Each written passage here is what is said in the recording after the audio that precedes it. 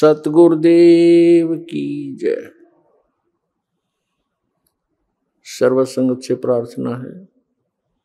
सत्संग प्रारंभ हो रहा है। कृपया सत्संग स्थल पर शांतिपूर्वक विराजमान होकर के श्रद्धा से सत्संग सुने।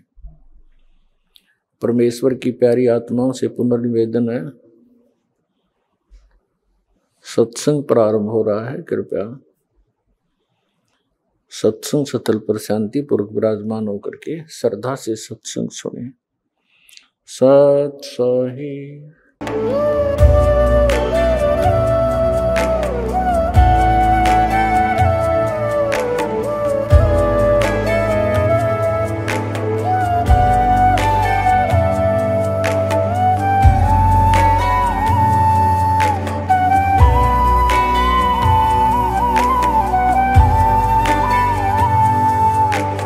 जब लग गुरु मिले न साचा, तब लग गुरु करो दस पांचा।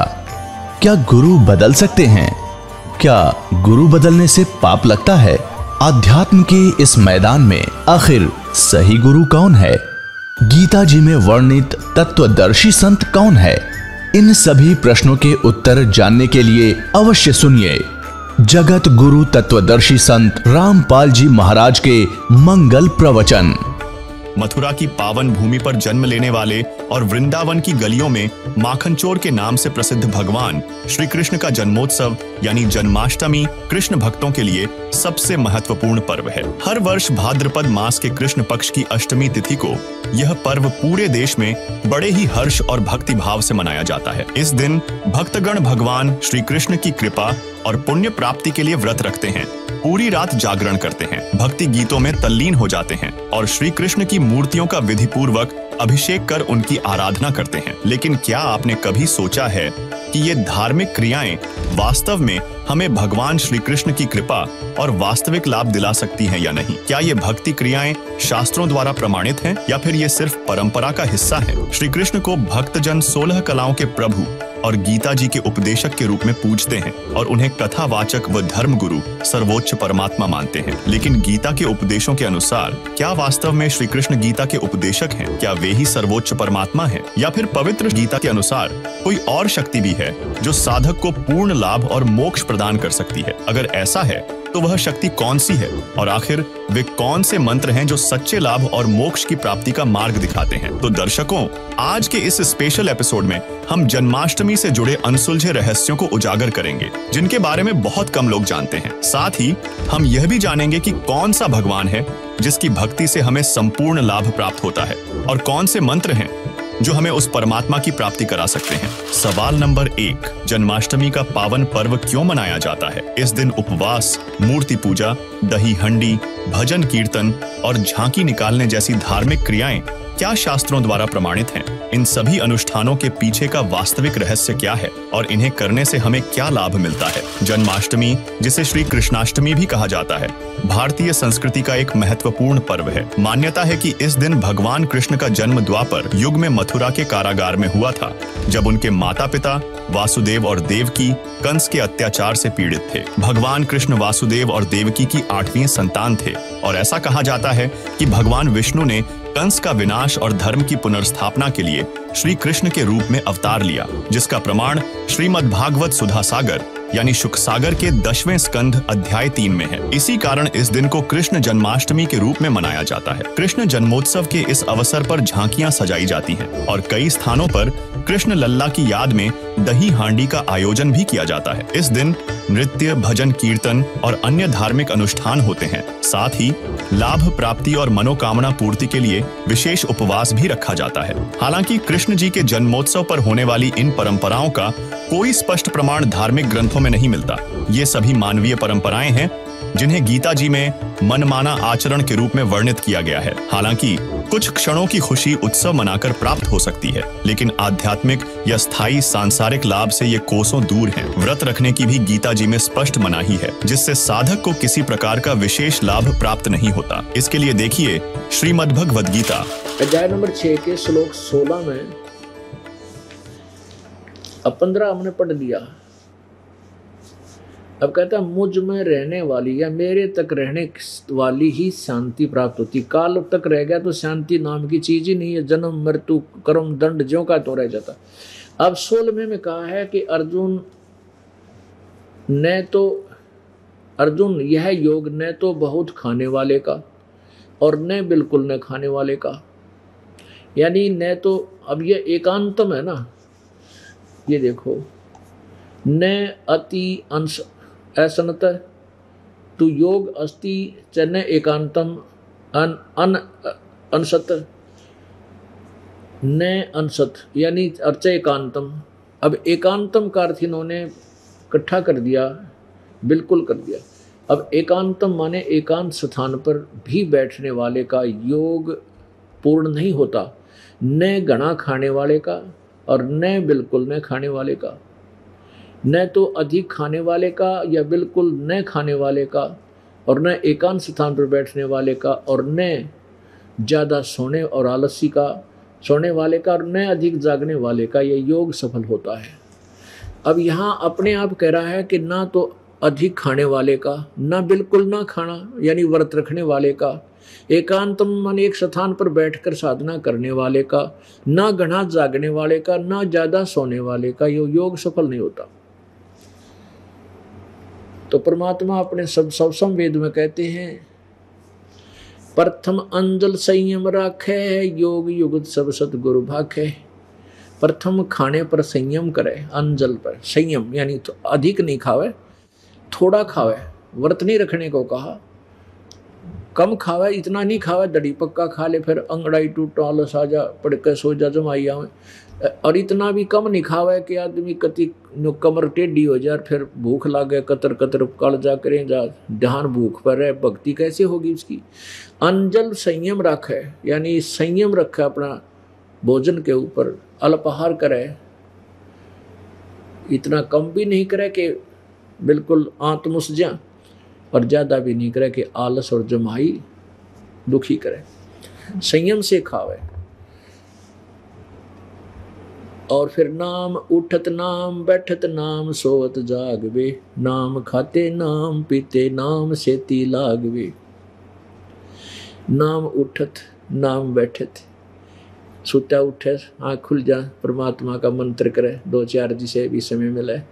और फिर चल, चलते चलते भगवान ने याद करे। खाना खान लगे तो मालिक की आरती, अन्न की अन्नदेव की आरती करे। और जब तक रोटी परोसे, इतना पाँच चार मंत्रा का चोटा मार दे। हैं। नाम उठत, नाम बैठत, नाम सोत जागवे। सोने से पहले प्रभु को याद करके दस बीस मंत्र जिसे बने श्वास के सेवन करता करता सो जा। तो ऐसे हमने अपने अभ्यास को करना है, फिर सोपन में भी सांस सुमन चल पड़ेगा।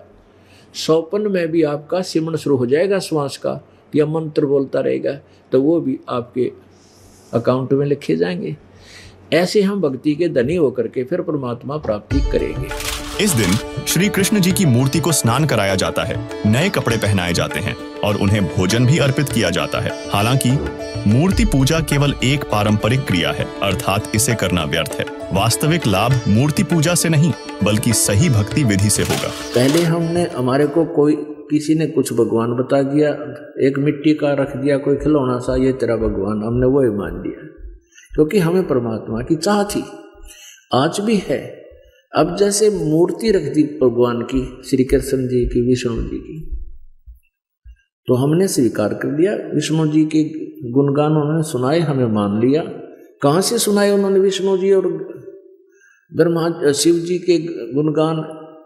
गुण कहाँ से सुनाए? विष्णु पुराण से, विष्णु जी के, शिव पुराण से, शिव जी के। तो किसी ने बताया कि भगवान की मूर्ति है, इसी की पूजा से तेरा मोक्ष हो जाएगा। हमने वो भी शुरू कर दिया। तो ये भूल थी, ये गलत था।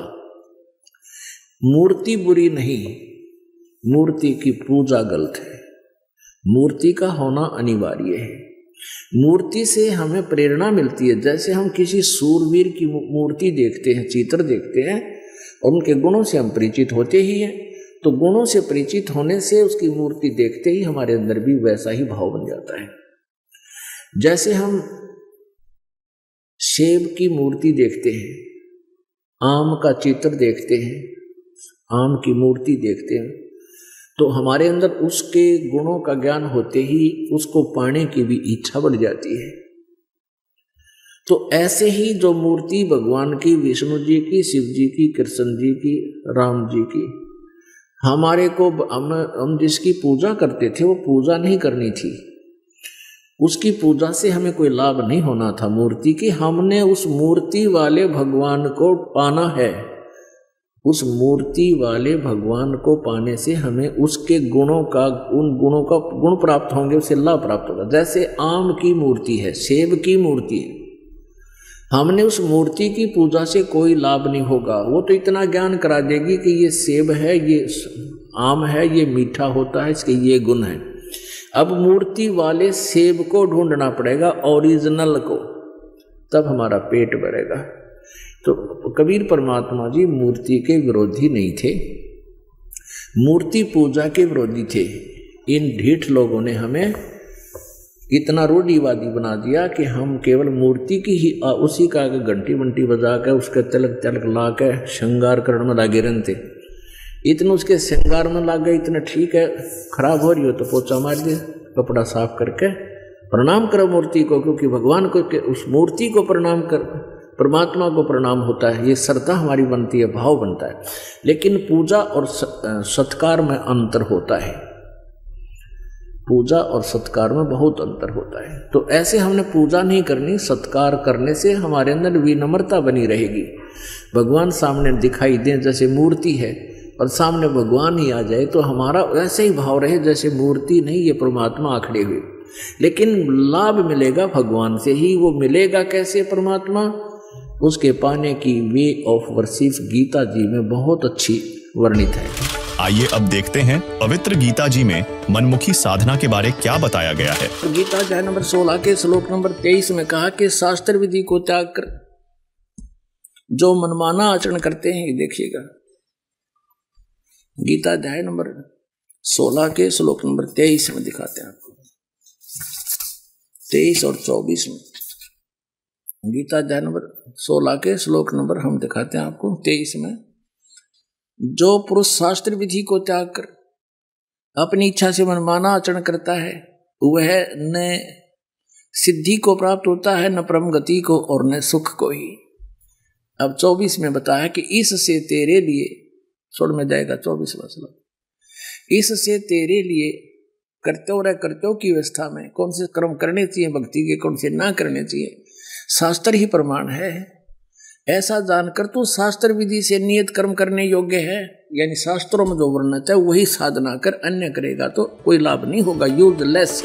अर्थात जो साधनाएँ वेदों और गीता के अनुसार नहीं हैं, उन्हें तुरंत त्याग देना चाहिए। भक्ति केवल शास्त्रों के अनुसार की जानी चाहिए, ताकि मानव जीवन सफल हो सके और हम उन लाभों को प्राप्त कर सकें, जिनसे हम शास्त्र विरुद्ध साधना करके वंचित रह जाते हैं। हमें भक्ति केवल पूर्ण परमात्मा की करनी चाहिए, तभी हम वास्तविक सुख और शांति प्राप्त कर सकते हैं। बात करें द्वारिकाधीश श्री कृष्ण जी की तो उनका जन्म माँ के गर्भ से हुआ था, जबकि पवित्र ऋग्वेद मंडल नौ, सूक्त त्रियानवे, मंत्र दो व ऋग्वेद मंडल दस, सूक्त चार मंत्र तीन गवाही देते हैं कि पूर्ण परमात्मा माता के गर्भ से जन्म नहीं लेते, बल्कि वह शरीर शिशु रूप में प्रकट होता है और सशरीर चला जाता है। इसलिए श्री कृष्ण जी वास्तविक भगवान नहीं है। सवाल नंबर दो, कृष्ण जन्मोत्सव के इस पावन अवसर पर लोग पूजा पाठ और अनुष्ठान करते हैं ताकि पापों और दुखों से मुक्ति मिल सके। लेकिन क्या विष्णु अवतार श्री कृष्ण वास्तव में अपने भक्तों के प्रारब्ध में लिखे दुखों को समाप्त करने में सक्षम है?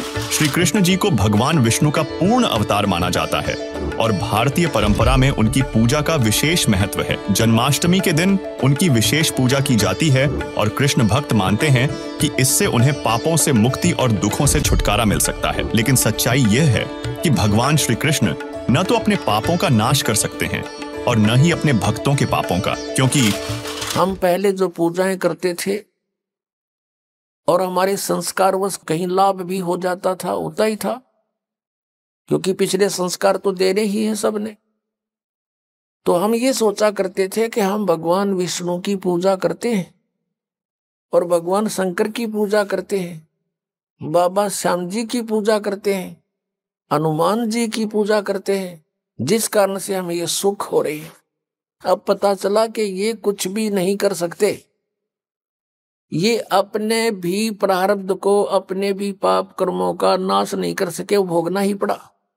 जैसे भगवान श्री कृष्ण जी, विष्णु जी के अवतार थे। भगवान श्री रामचंद्र जी विष्णु की आत्मा थी और श्री कृष्ण जी भी। नारद जी ने श्राप दे दिया था विष्णु जी को,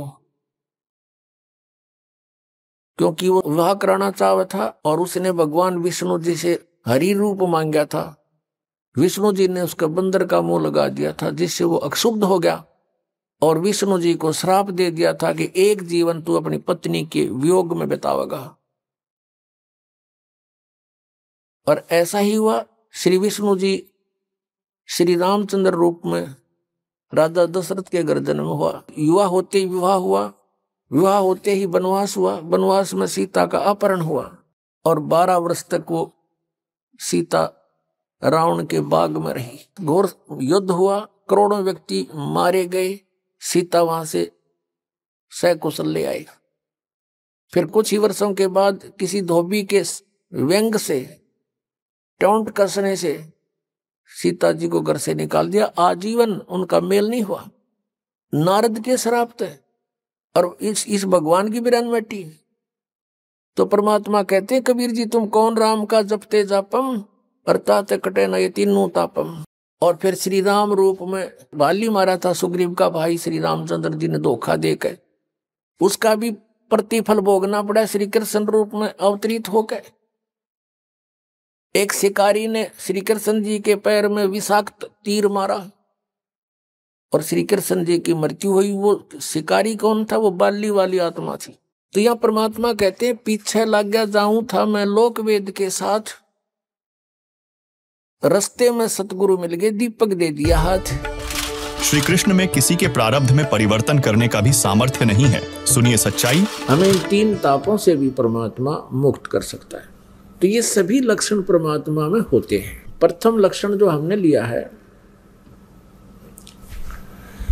कि भगवान श्री कृष्ण ने मोर ध्वज के पुत्र तामर ध्वज को आरे से एक आरी से दो फाड़ करवा के उसके माता पिता से। क्योंकि पहले साधु संतों के विचारों आदेश का बहुत पालन करते थे, श्रद्धालु व्यक्ति होते थे और वो समझते थे कि ना जाने किस बेस में भगवान ही आ गया हो, इसलिए संत के आज्ञा का वो पालन करते थे। उस समय संत लोग जो है बड़े सिद्धि युक्त होते थे। सिद्धि क्या होती है कि ईश्वरीय भक्ति से, परमेश्वर की भक्ति से उन्होंने कुछ संग्रह कर ली होती है पावर परमात्मा की, ही पावर को संग्रह कर लेते हैं। जैसे इन्वर्टर होते हैं, इन्वर्टर चार्ज कर दिए जाते हैं तो वो उनकी बैटरी चार्ज हो जाती है। कुछ समय के लिए बहुत कार्य काम चलाओ कर देते हैं। तो वो पावर है, कहाँ से ग्रहण की उसने? थर्मल प्लांट से। तो एक इन्वर्टर थर्मल प्लांट जितना कार्य नहीं कर सकता, इतनी क्षमता उसकी नहीं हो सकती। तो जितने भी ऋषि, महर्षि, जिनमें सिद्धियाँ थी, जिन्होंने सातों समंदरों को पी लिया, फिर वापस छोड़ दिया, जिन्होंने पहाड़ उठा लिए, आकाश में उड़ गए, ये इन्वर्टर थे। और जैसे श्री कृष्ण जी ने तामर ध्वज को जीवित कर दिया, सुदामा जी का महल बना दिया, ये श्री कृष्ण तक भी इन्वर्टर थे। वो थर्मल प्लांट नहीं थे।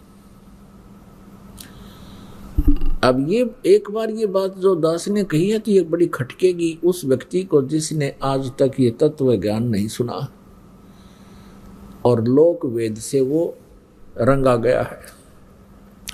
लोक वेद किसे कहते हैं? जो दंत कथा होती है, सुना सुनाया ज्ञान, अक्षेत्रीय ज्ञान। एक दूसरे से सुना हुआ ज्ञान, उसको लोक वेद कहते हैं। पुणात्मा श्री कृष्ण जी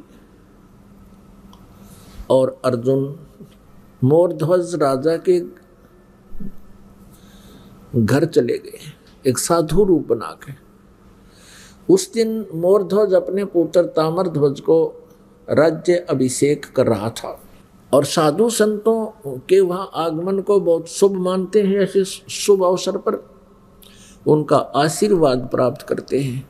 उनका आशीर्वाद प्राप्त करने के लिए उनकी प्रत्येक आज्ञा का पालन करते हैं, उनकी सेवा सुसवा करते हैं, जिससे वो प्रसन्न हो जाए। उनको प्रसन्न करने की हर संभव कोशिश की जाती। तो श्री कृष्ण जी ने एक माया से, अपनी सिद्धि से एक सिंह बना लिया, शेर बना लिया। और दोनों पहुँच गए राजा मोर ध्वज के बाग में। जब राजा को पता चला कि साधु संत आए हैं, उनको संदेशा भिजवाया कि आओ महाराज भोजन पाओ। लेकिन श्री कृष्ण जी ने कहा कि राजा स्वयं मुझे, हमें आमंत्रित करने आएगा तो हम प्रवेश करेंगे उसके घर पर। राजा को पता चला मोर ध्वज तुरंत चल पड़ा नंगे पैरों और भगवान से अर्ज़ की, घर पे ले आए। घर पे विराजमान हो जाने के उपरांत आसन दिए और कहा, भगवान भोजन पाओ।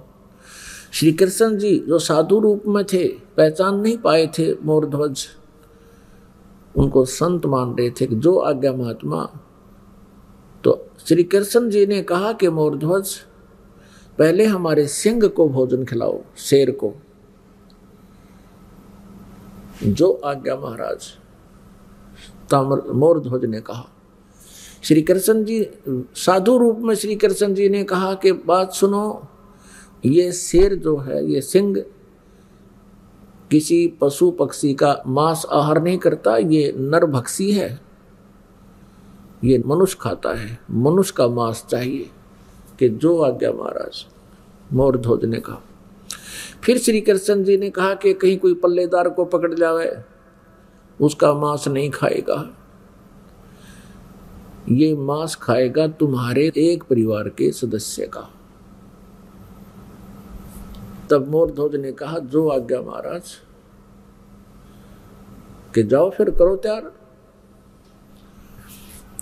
अब मोर ध्वज ने तामर ध्वज और रानी से कहा कि साधु महात्मा आए हैं।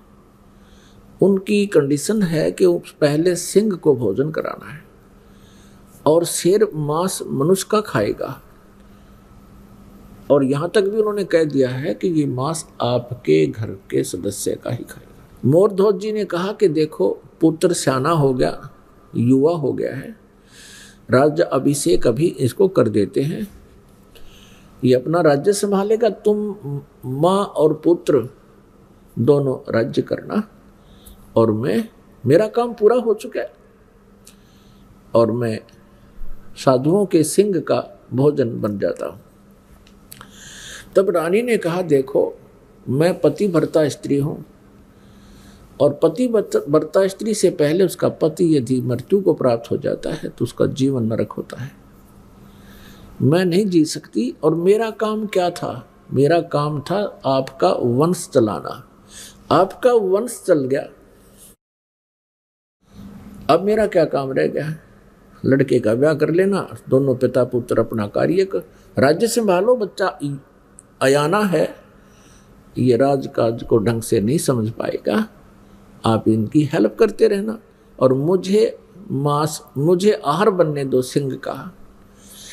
तब लड़का कहता है, ताम्रध्वज के माता पिता मैं माता पिता के ऋण से मुक्त नहीं हो पाया हूँ। अभी तक तो मेरी आपने सेवा ही सेवा की है, मैं तो आपकी कुछ सेवा कर नहीं सका। इसलिए मैं सिंह का आहार बनूँगा। आप मुझे पितर रण से मुक्त होने दीजिए। अब वहाँ भगवान श्री कृष्ण से जो साधु रूप में बैठे थे, उनसे आकर कहा, उन्होंने सारी कहानी फिर दोबारा दोहराई और कहा, भगवान, आप ही फैसला कर दो। तब श्री कृष्ण साधु वेश में विराजमान श्री कृष्ण जी ने कहा कि राजा और रानी, यानी अपने पुत्र तामर ध्वज को आरे से दो फाड़ करें और तुम्हारे पुत्र का मांस ये शेर खाओगा सिंह खाओगा। जो आ गया, आरा उठा लिया। एक तरफ़ माँ खड़ी होगी, एक तरफ़ पिता और लड़का लिया, बिठा।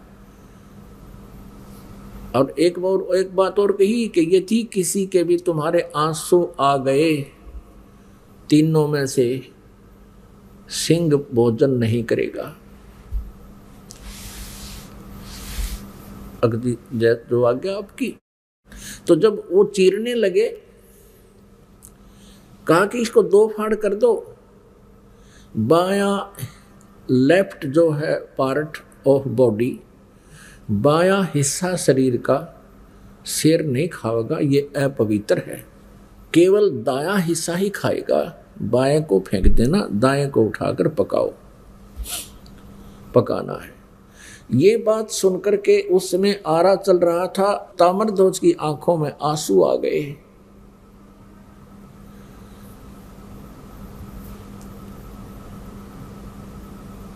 तो श्री कृष्ण जी साधु वेश में थे, उठकर चल पड़े कि तुम तो रो पड़े भाई। तुम्हारा सही प्यार नहीं प्रभु में, तुम्हारा कच्चा प्रेम है, ये मांस नहीं खाएगा। तब तक तामर ध्वज मर चुका था। अब मोर ध्वज कहता है कि हे भगवान, बालक था। इसको समझ नहीं थी। मुझे चीर लो, मैं नहीं रोऊँगा। तब रानी कहती है, आप रूठ को मत जाओ, मुझे आहार बना लो, हम नहीं रोएँगे, बालक था। इस बात से वो बड़ा प्रसन्न हुआ। श्री कृष्ण जी साधु रूप में वापस आकर बैठ गया और लड़के को जीवित कर दिया। तब लड़का जीवित हो गया। तामर ध्वज ने कहा कि, प्रभु, मैं रोया इसलिए था, मैं कोई इसलिए नहीं रोया था कि मेरी जान जा रही है। मैं इसलिए रोया था कि मैं इतना नीच व्यक्ति हूँ कि मैं, मेरा आधा ही बॉडी आधा ही शरीर आपके काम आया। मैं तो इसलिए रो रहा था। अब उसको जीवित कर दिया। अपने आत्माओं, इन कथाओं से हमने बहुत कुछ सीखना होता है। अब ये तो कुर्बानियाँ की मोर ध्वज जी ने श्री कृष्ण जी के लिए एक परम संत पूर्ण परमात्मा मानकर, अब उनका कोई से का कल्याण नहीं हो सकता था। ना श्री कृष्ण का कल्याण हुआ, ना श्री कृष्ण उनका कल्याण कर सकते थे। लड़के को जीवित कर देना इन प्रभुओं में गॉड पावर होती है, जैसे इन्वर्टर वाली। एक भी इन्वर्टर की अक्षमता होती है, वो केवल दो बल्ब ही जगा सकता है। एक इन्वर्टर की ऐसी अक्षमता होती है कि वो कूलर भी चला दे दो तीन बल्ब भी चला दे और कोई छोटी मोटी एंड पंप की मोटर भी चला दे। आधे उसपोर की। लेकिन फिर भी वो अक्षमता उसकी कंप्लीट नहीं, पूर्ण नहीं होती। पर्याप्त नहीं है और थर्मल प्लांट से थ्री फ़ेज़ की लाइट चला दे डूंडा ठा देते दस हॉर्स पावर की मोटर हो और पूरे पंडाल ने चमका दे। तो ऐसे अंतर है इन भगवानों में। अब यहाँ आप जी के लिए इसका एक निष्कर्ष निकाला है परमेश्वर कबीर जी ने। कहते हैं, महिमा की जय संत की, तन मन धन सब दे, शर्मांग टाड़ा नहीं मोर ध्वज लख ले। कि संत जब परम संत तुम्हें मिल जावा उस समय, उस संत की इतनी आदर सत्कार और आज्ञा का पालन करना यदि सिर भी मांगे नाटना नहीं सिर मांगे टाला नहीं। मोर ध्वज लख ले मोर ध्वज को देख लो। पुणात्माओं अब अकाल गिर गया साधु संतों का कलयुग के इस पीरियड में। ये नकली, पाखंडी और डोंगी, इनका सत्कार हो गया, है? और इन्हीं का बोलबाला हो रहा है। इन्होंने बठा बठा दिया भक्ति का और भाव खत्म कर दिया भक्तों का। अपनात्मा, इस लक्षण से हमने श्री कृष्ण जी को परमेश्वर मान रखा था कि उन्होंने मोर ध्वज के पुत्र तामर ध्वज को आरे से दो फाड़ करवा के जीवित कर दिया। यही श्री कृष्ण जी अपने सगे बांजे अभिमन्यु को जीवित नहीं कर सके, जो महाभारत के युद्ध में चक्कर व्यहू के अंदर मृत्यु को प्राप्त हो गया था। सुभद्रा रो रही थी जो श्री कृष्ण जी की बहन थी। अर्जुन का ब्याही थी। सुभद्रा पुत्र था अभिमन्यु। पाँचों पांडव रो रहे थे। सुभद्रा रो रही थी, श्री कृष्ण रो रहा था। और पांडवों का कुल नाश हो रहा था। श्री कृष्ण जीवित नहीं कर सके। वहाँ तो पंगा पा दिया जाके, खुद चरवा के जीवित कर दिया लड़का मोरदोज का पुत्र। और वहाँ सुभद्रा पुत्र को श्री कृष्ण जीवित नहीं कर सके। तो परमेश्वर कबीर जी ने ये बताई है भिन्नता कि श्री कृष्ण जी उर्फ़ विष्णु जी, श्री कृष्ण जी विष्णु जी समझो, विष्णु जी के अवतार, उन्हीं की आत्मा यहाँ देवकी के गर्भ से उत्पन्न हुई थी। और ये केवल चार भुजा के और सोलह कला के भगवान हैं। इनके जो पिताजी हैं वो ब्रह्म है सरपुरुष भी इसे कहते हैं। वो एक हज़ार भुजा का भगवान है और उसकी एक हज़ार ही कलाएँ हैं। तो इस प्रकार इनकी हॉर्स पावर समझो, ये हॉर्स पावर है। ये सोलह हॉर्स पावर के हैं। इनका पिता एक हज़ार हॉर्स पावर का है और अक्षर पुरुष है, वो दस हज़ार हॉर्स पावर का है। और ये परम अक्षर पुरुष सत्य पुरुष, ये इसकी हॉर्स पावरों की कोई गिनती को ना, असंख्य अनलिमिटेड तो जो कार्य पूर्ण परमात्मा कर सकता है, ये अपूर्ण भगवान नहीं कर सकते। उपरोक्त विवरणों से यह स्पष्ट है कि भगवान श्री कृष्ण प्रारब्ध में लिखे पापों का नाश नहीं कर सकते। यहाँ तक कि भगवान विष्णु अपने प्रारब्ध को भी नहीं मिटा सकते। सवाल नंबर तीन, हम सभी का मानना है कि महाभारत के दौरान श्री कृष्ण ने अर्जुन को गीता का ज्ञानोपदेश दिया था। लेकिन गीता, अध्याय ग्यारह, श्लोक बत्तीस में श्री कृष्ण ने क्यों कहा कि मैं बड़ा हुआ काल हूँ, अप्रावृत्त हुआ हूँ? यह काल कौन है और वास्तविक गीता ज्ञानदाता कौन है? पूरा हिंदू समाज इस सत्य से अनजान है कि गीता का ज्ञान श्री कृष्ण जी ने नहीं। बल्कि काल ब्रह्म ने दिया था।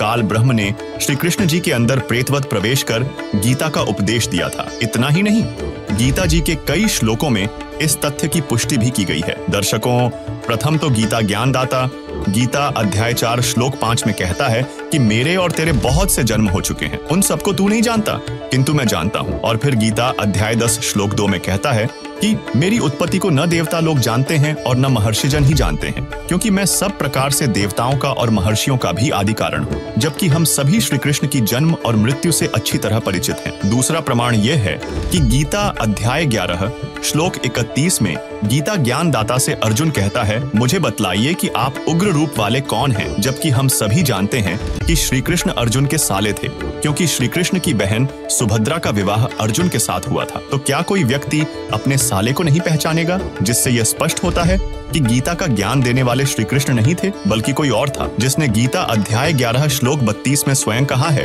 कि लोगों का नाश करने वाला बड़ा हुआ काल हूँ। इस समय इन लोगों को नष्ट करने के लिए प्रकट हुआ हूँ। अब जरा स्वयं सोचिए, क्या श्री कृष्ण काल हो सकते हैं? नहीं ना? चलिए आपको इसे और स्पष्ट करते हैं। उसके लिए देखिए संत रामपाल जी, महाराज का यह आध्यात्मिक सत्संग। पुणात्मा अभी तक आप जिससे भी बात करते हो कि श्री गीता जी का ज्ञान किसने बोला, तुरंत कह देते हैं, तपाक से कह देते हैं, श्री कृष्ण जी ने बोला, इसमें कोई दो राय नहीं है। ये बिल्कुल अज्ञानी है, इनको क्या इनका पता नहीं किसी चीज़ का। अब देखिए, श्री कृष्ण जी ने कहा कि मैं तो गीता के बारे में जानता नहीं, मैंने क्या बोला था? क्योंकि जैसे कोई प्रेत किसी में प्रवेश कर जाता है, वो प्रेत बोलता है, उसके निकलने के बाद फिर वो आत्मा को पता नहीं होता कि मैंने क्या बोला था, और ही बताया करते हैं, आपने ऐसा बोला था तो तू ऐसे बोल रहा था, तू ऐसे कह रहा था। और वो बोल रहा था, भूत तो ऐसे ये प्रेतवत प्रवेश करके श्री कृष्ण जी में यो काल गीता का ज्ञान बोल गया। ये देखिएगा, संक्षिप्त महाभारत, द्वितीय खंड, गीता प्रेस गोरखपुर से प्रकाशित है। व्यास जी, वेद व्यास जी इसके राइटर हैं। इसके छह पृष्ठ पे। इसके संपादक हैं जयदयाल का जो गीता जी के अनुवादक भी हैं। संपादक तथा संशोधक गीता प्रेस गोरखपुर। गीता प्रेस गोरखपुर से प्रकाशित और मुद्रित है। इसके छह सौ सड़सठ पृष्ठ पर हम चलते हैं। ये देखिएगा। ये है छह सौ सड़सठ पृष्ठ। श्री कृष्ण का अर्जुन से सिद्ध महर्षि और कश्यप का संवाद। जन्मे जय ने पूछा, ब्रह्मन शत्रुओं का नाश होने के बाद जब महात्मा श्री कृष्ण और अर्जुन सभा में बैठकर वार्तालाप कर रहे थे, उस समय उनमें क्या क्या बातचीत हुई? वैशम पायन वैशम पायन जी कहते हैं, राजन श्री कृष्ण के सहित।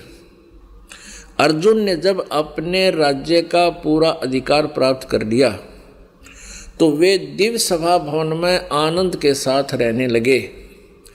एक दिन सवजनों से घिरे हुए वे दोनों मित्र स्वेच्छा से घूमते घूमते सभा मंडप के ऐसे भाग में पहुँचे, जो स्वर्ग के समान सुंदर था। पांडव नंदन अर्जुन श्री कृष्ण के साथ रहकर बहुत प्रसन्न थे।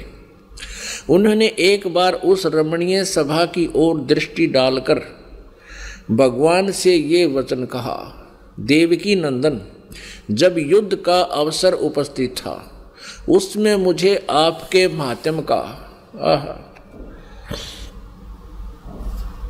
ज्ञान और ईश्वरीय स्वरूप का दर्शन हुआ था। किंतु केशव, आपने स्नेहवश पहले मुझे जो ज्ञान उपदे, जो ज्ञान का उपदेश किया था, वह सब इसमें बुद्धि के दोष से भूल गया है। यानी जो गीता ज्ञान सुनाया था युद्ध के दौरान, अब मैं भूल गया। अर्जुन बोल रहा है उन विषयों को सुन, सुनने के लिए बारंबार मेरे मन में उत्कंठा होती है कि वो ज्ञान गीता वाला मुझे फिर सुना दे, मैं सुनना चाहता हूँ। इधर आप जल्दी ही द्वारका जाने वाले हैं। अतः पुनः वह सब विषय मुझे सुना दीजिए। पुण्यात्माओं, अर्जुन भगवान श्री कृष्ण जी से कह रहे हैं कि भगवान जो गीता जी का ज्ञान आपने युद्ध के दौरान सुनाया था। उसको मैं भूल चुका हूँ। और वही ज्ञान मुझे फिर सुनाइए। मेरी बहुत प्रबल इच्छा है सुनने की। अब श्री कृष्ण जी क्या कहते हैं, देखना। इधर आप जल्दी ही द्वारका जाने वाले हैं, अतः पुनः वह सब विषय मुझे सुना दीजिए, अर्जुन ने कहा। अब वैशम पायन जी कह रहे हैं कि अर्जुन के ऐसे कहने पर वक्ताओं में श्रेष्ठ वक्ताओं में श्रेष्ठ महातेजस्वी भगवान श्री कृष्ण ने उन्हें गले से लगाकर इस प्रकार उत्तर दिया। श्री कृष्ण बोले, अर्जुन, उस समय मैंने तुम्हें अत्यंत गोपनीय विषय का श्रवण कराया था। अपने स्वरूप भूत धर्म सनातन पुरुषोत्तम तत्व का परिचय दिया था और नित लोकों का भी वर्णन किया था। किंतु तुमने जो अपनी नासमझी के कारण उस उपदेश को याद नहीं रखा, यह जानकर मुझे बड़ा खेद हुआ है। उन बातों का अब पूरा पूरा स्मरण होना संभव नहीं जान पड़ता। पांडव नंदन, निश्चय ही तुम बड़े श्रद्धाहीन हो। तुम्हारी बुद्धि अच्छी नहीं जान पड़ती। अब मेरे लिए उस उपदेश को ज्यों का त्यों दुरा देना कठिन है, क्योंकि उस समय योग युक्त होकर मैंने परमात्म तत्व का वर्णन किया था। पुण्यात्माओं, अब श्री कृष्ण जी अर्जुन पर तो डांट मार रहे हैं, धमका रहे हैं, कि तू बड़ा श्रद्धाहीन है, तेरी बुद्धि अच्छी नहीं है, तूने याद क्यों नहीं रखा गीता जी के ज्ञान को? और स्वयं कह रहे हैं, अब मुझे वो पूरा पूरा फिर याद नहीं आ सकता। कोई बात हुई या? इसे सीधा श्री कृष्ण जी ने कह कह का भी नहीं पता था कि गीता में मैंने बोला क्या है। पुणात्माओं अब ये दास सत्संग कर रहा जिस विषय पर, और आप सुन रहे हो, जो प्रथम बार इस ज्ञान को सुनेगा, उसको 20 प्रतिशत याद रहेगा मुश्किल से। और मैं वक्ता हूँ, अपनी होश में बोल रहा हूँ तो मुझसे कभी सुन लेना, उसी समय सुना दूँगा, क्योंकि मैं अपने होश में बोल रहा हूँ। और आप मुझसे पूछो कि वो सुनाना वो विषय जो उस दिन सुनाया था, और मैं कहूँ, तुमने याद क्यों नहीं रखा, मुझे याद नहीं। इससे सिद्ध है कि मैंने बोला ही नहीं, यानी किसी और कोई भूत बोल गया मेरे अंदर आकर के, तब मैं ऐसी बातें कह सकता हूँ। तो ऐसे ही श्री कृष्ण जी में काल बोल रहा था। ये काल कौन है? ये इक्कीस ब्रह्मांड का स्वामी है, ब्रह्मा, विष्णु, महेश का पिता है, दुर्गा इसकी पत्नी है, ब्रह्मा, विष्णु, महेश की माता दुर्गा है। ये काल जो है, इसने गीता जी अध्याय नंबर चार के श्लोक नंबर पाँच और नौ में ये स्पष्ट किया है कि अर्जुन, तेरे और मेरे बहुत जन्म हो चुके, तू नहीं जानता, मैं जानता हूँ। मेरे जन्म और कर्म अलौकिक हैं, दिव्य हैं। अब कैसे कर्म दिव्य हैं? अब जैसे श्री कृष्ण में प्रवेश करके भूत की तरह, प्रेत की तरह अपना उल्लू सीधा कर गया नाश करवा दिया। अर्जुन नट, कृष्ण नट। मना करे हम नहीं करते ऐसे युद्ध न पहले कृष्ण जी भी मना करे, थे कि नहीं, ऐसा जुल्म नहीं करना चाहिए। और यहाँ तक प्रतिज्ञा कर ली थी महात्मा ने। श्री कृष्ण जी ने कि मैं युद्ध नहीं करूँगा। हथियार भी नहीं उठाऊँगा, क्योंकि युद्ध युद्ध नहीं चाहते थे। वो बड़े शांत प्रिय महापुरुष थे। सतोगुण भगवान है। लेकिन काल ने उसमें प्रवेश किया और अर्जुन को डराया भयंकर रूप दिखा करके, डरते अर्जुन ने स्वीकृति दे दी हाँ मैं आपसे सहमत हूँ और युद्ध करूँगा। उसने जान लिया कि यदि एक बार फिर ये विराट रूप दिखा दिया, तेरा कलेजा फट जाएगा। इसलिए युद्ध करना ही उसने अपना हित समझा। तो अभी आपको दिखाते हैं इसके जन्म और कर्म कैसे अलौकिक हैं। ये कर्म कैसे अलौकिक करता है? देखिएगा श्री विष्णु पुराण, गीता प्रेस गोरखपुर से प्रकाशित। इसके संपादक कौन है? अनुवादक हैं श्री मुनीलाल गुप्त और प्रकाश गीता प्रेस गोरखपुर। और मुद्रक भी यही है, प्रकाशक भी यही है। अब देखना इसके दो सौ तैतीस पृष्ठ पे। ये चतुर्थ अंश, अध्याय नंबर दो, पृष्ठ नंबर दो सौ तैतीस पे। या नीचे आइएगा।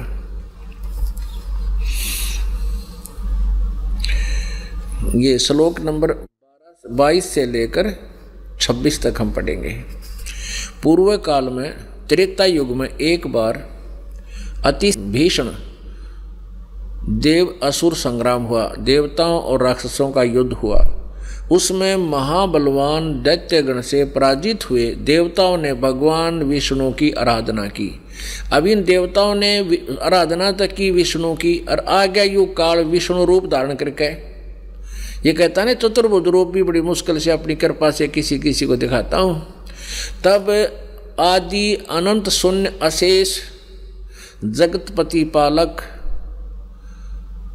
श्री नारायण ने देवताओं से प्रसन्न होकर कहा, आप लोगों का जो कुछ भी अभिष्ट है वह मैंने जान लिया है। उसके विषय में यह बात सुनिए। राज ऋषि ससाद का जो पुरंजय नामक पुत्र है, उस अक्षत्रिय श्रेष्ठ के शरीर में मैं अंश मात्र से अवश्य अवतीर्ण होकर, यानी भूत की तरह प्रवेश कर कर उन संपूर्ण दैत्यों का नाश करूँगा। अतः तुम लोग पुरंजय को दैत्यों के युद्ध वध के लिए तैयार करो। यानी वहाँ पुरंजय को खड़ा कर लो युद्ध में। मैं उसमें प्रवेश करके सब न मार दूँगा। अब जैसे श्री कृष्ण में आकर यू काल प्रवेश कर गया और युद्ध करा दिया कृष्ण जी तो नट रहे थे और जब अर्जुन मना करने लगा तो श्री कृष्ण तो तुरंत कह देते, चल भाई, बहुत अच्छा नहीं लड़ते। तो उसमें युग काल प्रवेश कर गया श्री कृष्ण में और वो अपना उल्लू सीधा करने के लिए उसको डरा धमका के और युद्ध करवा दिया। तो इस प्रकार ये कहता है कि मैं उनके अंश मात्र से राजऋषि ससाद का जो पुण्य नामक पुत्र है, उस अक्षत्रिय श्रेष्ठ के शरीर में अंश मात्र से स्वयं अवतीर्ण होकर उसमें प्रवेश करके उन संपूर्ण दैत्यों का नाश करूँगा। अतः तुम लोग पुरंजय को दैत्यों के वध के लिए तैयार करो। और एक प्रमाण और कमाल का है। 242 पृष्ठ पे। यही चतुर्थ अंश और अध्याय नंबर तीन। श्री विष्णु पुराण 242 पृष्ठ नीचे आइएगा। ये तीसरा अध्याय है। पूर्व काल में रसातल में, पूर्व काल में रसातल में मौने नामक छह करोड़ गंधर्व रहते थे। उन्होंने समस्त नागकुल के प्रधान प्रधान रतन और अधिकार छीन लिए थे। गंधर्वों के पराक्रम से अपमानित उन नागेश्वरों द्वारा स्तुति किए जाने पर, उसके श्रवण करने से जिनकी विकसित कमल सदृश आँखें खुल गई हैं, निंद्रा के अंत में जो जागे हुए उन जलसाई भगवान सर्वेश्वर को प्रणाम करके उनसे नागगण ने कहा, यानी विष्णु रूप में आ गया यु काल, भगवान इन गंधर्व से उत्पन्न हुआ हमारा भय किस प्रकार शांत हो?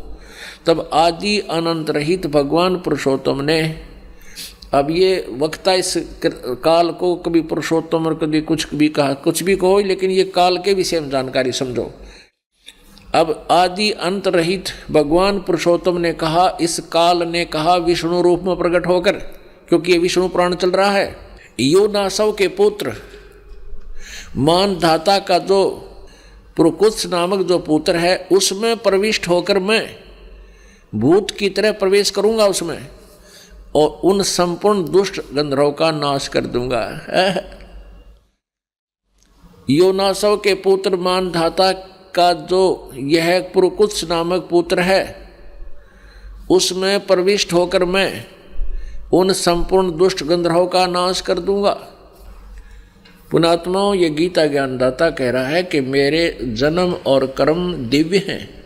अब कर्म दिव्य ऐसे हैं कि ये स्वयं किसी के सामने नहीं आता। अभी आपने गीता जी अध्याय नंबर सात के श्लोक नंबर चौबीस और पच्चीस में आँखों पढ़ा और दास से सुना। और ये ऐसे कर्म करता है, किसी दूसरे में प्रवेश करके और सब कुछ करना, वो कर जाता है। और स्वयं किसी के समक्ष अपने यथार्थ रूप नहीं आता ये कहता चतुर्भुज रूप में भी मैं कभी किसी पर अनुग्रह करके बेसिक दर्शन दे दूँ, ना कोई जप से, ना तप से, ना क्रिया से, ना दान से। यानी भले के लिए तो मैं किसी ने दर्शन दूँ को ना? अपनी मर्ज़ी से किसी ने दर्शन दे दूँ, अनन्य भगत ने। अब जैसे देवताओं ने प्रार्थना की, विष्णु रूप में आ गया।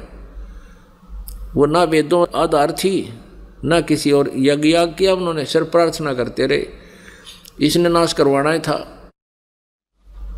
और करना ही था तो पहले तो कहता है उसमें, ससाद के पुत्र पुरंजय में प्रवेश करके राक्षस मार दिए।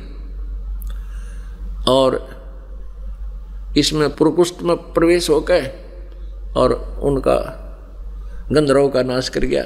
स्वयं प्रवेश करके ऐसे कहता है, मेरे कर्म अलौकिक है। अद्भुत हैं, तुम नहीं जान सकते। यहाँ ये बात क्लियर होगी, स्पष्ट होगी कि श्री मद भगवत गीता जी का ज्ञान श्री कृष्ण ने नहीं बोला। श्री कृष्ण जी को तो ये मालूम भी नहीं कि मैंने गीता के बोलते समय क्या कहा था। अपनात्मा, ये एक तत्व ज्ञान है। ये पवित्र श्रीमद् भगवद गीता लगभग पाँच हज़ार वर्ष से पहले, पचपन सौ वर्ष के आसपास ये लिपिबद्ध की गई थी। और पवित्र हिंदू धर्म इसको सिरोधार्य मानता है और बहुत ही उत्तम शास्त्र है। लेकिन इसमें वास्तविकता क्या है, ये नहीं परिचित थे, इसको नहीं जान सके। और पुण्यात्मा अपने घर में औषधियों की बुक रखी है। और वो बहुत ही अच्छी जानकारी है। लेकिन हम समझ नहीं सके उसकी अक्वेशन, उसका अलग से बना लिया, गलत उसको औषधियाँ तैयार करके हम विनाश को प्राप्त हो गए, रोग नाश नहीं हुआ। तो अब इस दास के ऊपर कृपा की परमात्मा ने ये वही अनमोल सदग्रंथ श्रीमद् भगवत गीता अपने पास है। हम सभी शिक्षित हैं। इस शिक्षा का अब हम लाभ उठाएँगे। और परमात्मा पाएँगे। अपनात्मा प्रमाण के बिना आप नहीं मान सकते, क्योंकि लोक वेद आप जी ने बहुत सुन रखा है।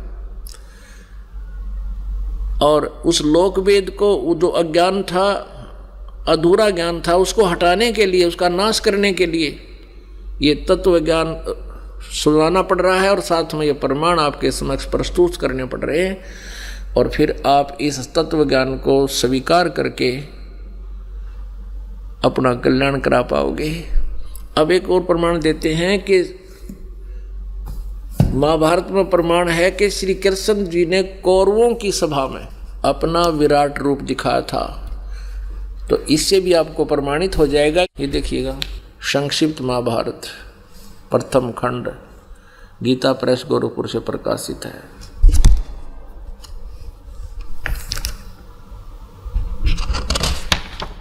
इसके वही संपादक हैं जयदयाल गोविंद का अनुवादक भी, संशोधक और संपादक। और गीता प्रेस गोरखपुर से प्रकाशित है। ये देखिएगा, गीता प्रेस गोरखपुर से प्रकाशित है और मुद्रित है। इसके पृष्ठ नंबर 500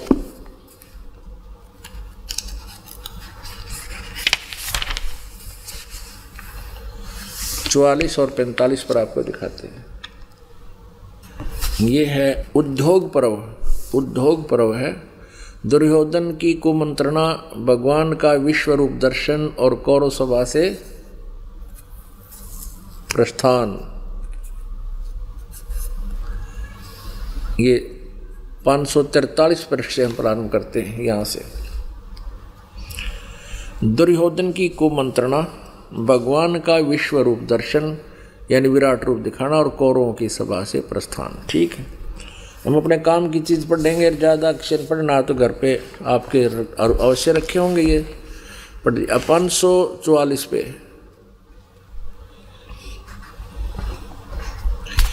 इसके बाद विदुर जी बोले, दुर्योधन, तुम मेरी बात सुनो। देखो श्री कृष्ण को कैद करने का विचार नरकासुर ने भी किया था, किंतु सब दानों के साथ मिलकर भी वह ऐसा नहीं कर सका। फिर तुम इन्हें अपने बलबूते पर पकड़ने का साहस कैसे करते हो? विदुर जी का वक्तव्य समाप्त होने पर भगवान श्री कृष्ण ने कहा, दुर्योधन, तुम जो अज्ञान वस्तु ये समझते हो कि मैं अकेला हूँ और मुझे दबाकर कैद करना चाहते हो, सो शायद याद रखो, समस्त पांडव और वर्षणी तथा अंधकवंशीय यादव भी यही हैं। वे ही नहीं, आदित्य, रुद्र वशु और समस्त महर्षिगण भी यही मौजूद हैं। ऐसा कहकर शत्रु दमन श्री कृष्ण ने अटहास किया। तब तुरंत ही उनके सब अंगों से बिजली सी कांति वाले अंगुष्ठा आकार सब देवता दिखाई देने लगे। उनके ललाट देश में ब्रह्मा वक्षतल में रुद्र, भुजाओं में लोकपाल और मुख में अग्निदेव थे। आदित्य साध्य वसु, अश्विनी कुमार आदि आदि। ये सब उनके शरीर से अभिन्न जान पड़ते थे। श्री कृष्ण के इस भयंकर रूप को देखकर सब राजाओं ने भयभीत होकर नेत्र मूंद लिए। केवल द्रोणाचार्य, भीषम, विदुर, संजय और ऋषि लोग ही उसका दर्शन कर सके, क्योंकि भगवान ने उन्हें दिव्य दृष्टि दे दी थी। पुणात्माओं अभी तक आप जिससे भी बात करते हो कि गीता जी का ज्ञान किसने बोला, तुरंत कह देते हैं। तपाक से कह देते हैं श्री कृष्ण जी ने बोला, इसमें कोई दो राय नहीं है। ये बिल्कुल अज्ञानी है। इनको क्या इनका पता नहीं, किसी चीज़ का। अब गीता जी अध्याय नंबर 11 के श्लोक नंबर सैतालीस, अड़तालीस में, यदि श्री कृष्ण जी गीता बोल रहे होते, ये शब्द नहीं कहते कि अर्जुन, ये मेरा वास्तविक विराट रूप, आज से पहले, तेरे से पहले किसी ने कभी नहीं देखा, और न ही आगे ये किसी यज्ञ से, तप से, जप से, दान से, धर्म से, क्रिया से, ये नहीं देखा जा सकता, ना वेदों में वर्णित विधि से भी नहीं देखा जा सकता। इति सिद्धम की श्री गीता जी का ज्ञान। नहीं बोला श्री कृष्ण भगवान। ये तो काल ने बोला। तो पुण्यात्माओं, ये जितने भी हिंदू धर्म के ब्राह्मण, गुरु, ऋषि, महर्षि, थे और वर्तमान में हैं, ये सभी अज्ञानी थे। ये धार्मिक टीचर कहलाते थे, लेकिन अपने सिलेबस से परिचित नहीं थे। जो टीचर अपने सिलेबस से परिचित नहीं है, अपने पाठ्यक्रम की पुस्तकों में लिखे विवरण से परिचित नहीं है तो वो टीचर व्यर्थ है, वो ठीक नहीं, वो अध्यापक ठीक नहीं। वो विद्यार्थियों का नासिक है, उनके जीवन को व्यर्थ कर रहा है। ठीक ऐसा ही आचरण, ऐसा ही व्यवहार अभी तक के हिंदू गुरुओं का था। रहा। अब इस दास पे कृपा की है परमेश्वर ने इस यथार्थ ज्ञान को आपके समक्ष पहुँचाने की। आइए जानते हैं कि गीता जी के वास्तविक ज्ञानदाता ने अध्यात्म मार्ग की सच्ची जानकारी प्राप्त करने के लिए किस तत्वदर्शी संत की शरण में जाने का निर्देश दिया है और उस संत की वास्तविक पहचान क्या है? अब उसकी पहचान भी बताता है कि वो तत्वदर्शी संत होगा कैसा। श्रीमद भगवत गीता अध्याय नंबर पंद्रह के श्लोक नंबर एक में तत्वदर्शी संत की पहचान बताइए। क्या बताया है कि ये संसार रूपी उल्टा लटका हुआ वृक्ष समझो, पूरा विश्व, सब ब्रह्मंडों समेत। और जिसकी ऊपर को जड़ है, नीचे को तीनों गुण रूपी शाखा है। श्रीमद भगवत गीता अध्याय नंबर पंद्रह के श्लोक नंबर एक से लेकर चार में ये स्पष्ट किया है। इस उल्टे लटके हुए संसार रूपी वृक्ष की जानकारी दी है। अब आपको ये उल्टा लटका हुआ संसार रूपी वृक्ष दिखाते हैं। फिर आसानी से जो दास सब सदग्रंथों से रूबरू करने जा रहा है आपको। आसानी से समझ जाएँगे। देखिएगा। ये समझो एक संसार रूपी वृक्ष है पूरा।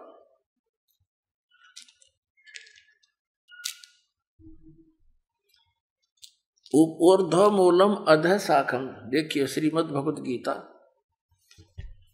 अध्याय नंबर पंद्रह का। ये पंच दसो अध्याय, यानी पंद्रमा अध्याय है। पंद्रमा अध्याय है।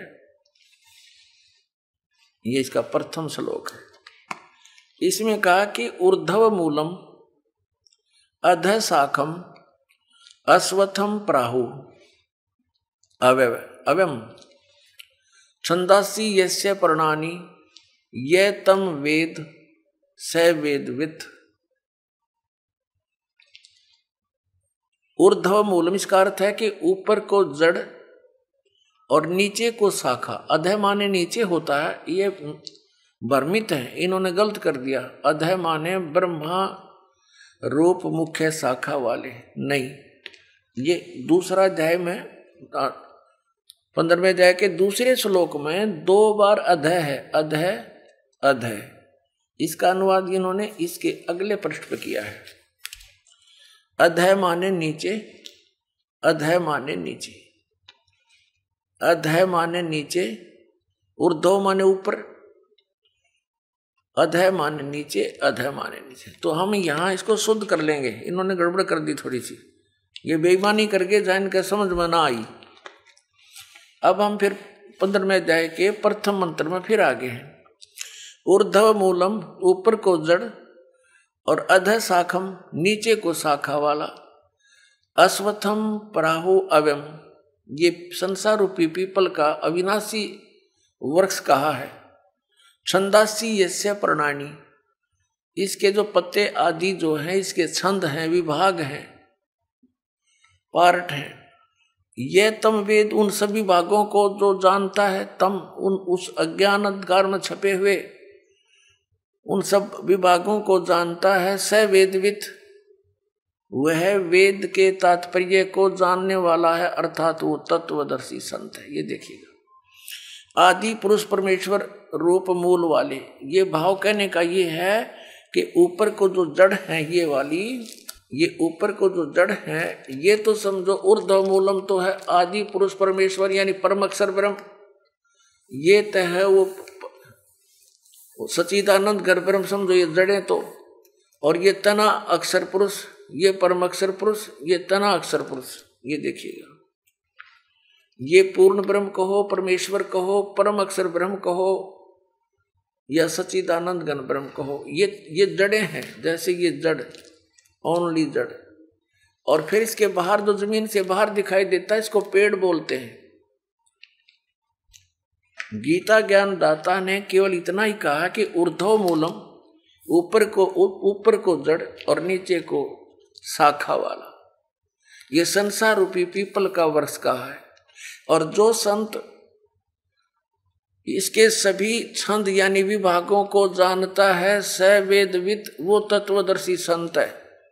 परमेश्वर कबीर जी ने 600 वर्ष पहले आकर कहा था, तत्वदर्शी संत की भूमिका बताई थी, अपने सचिदानंद गणब्रह्म की वाणी में अपने मुख कमल से बोलकर।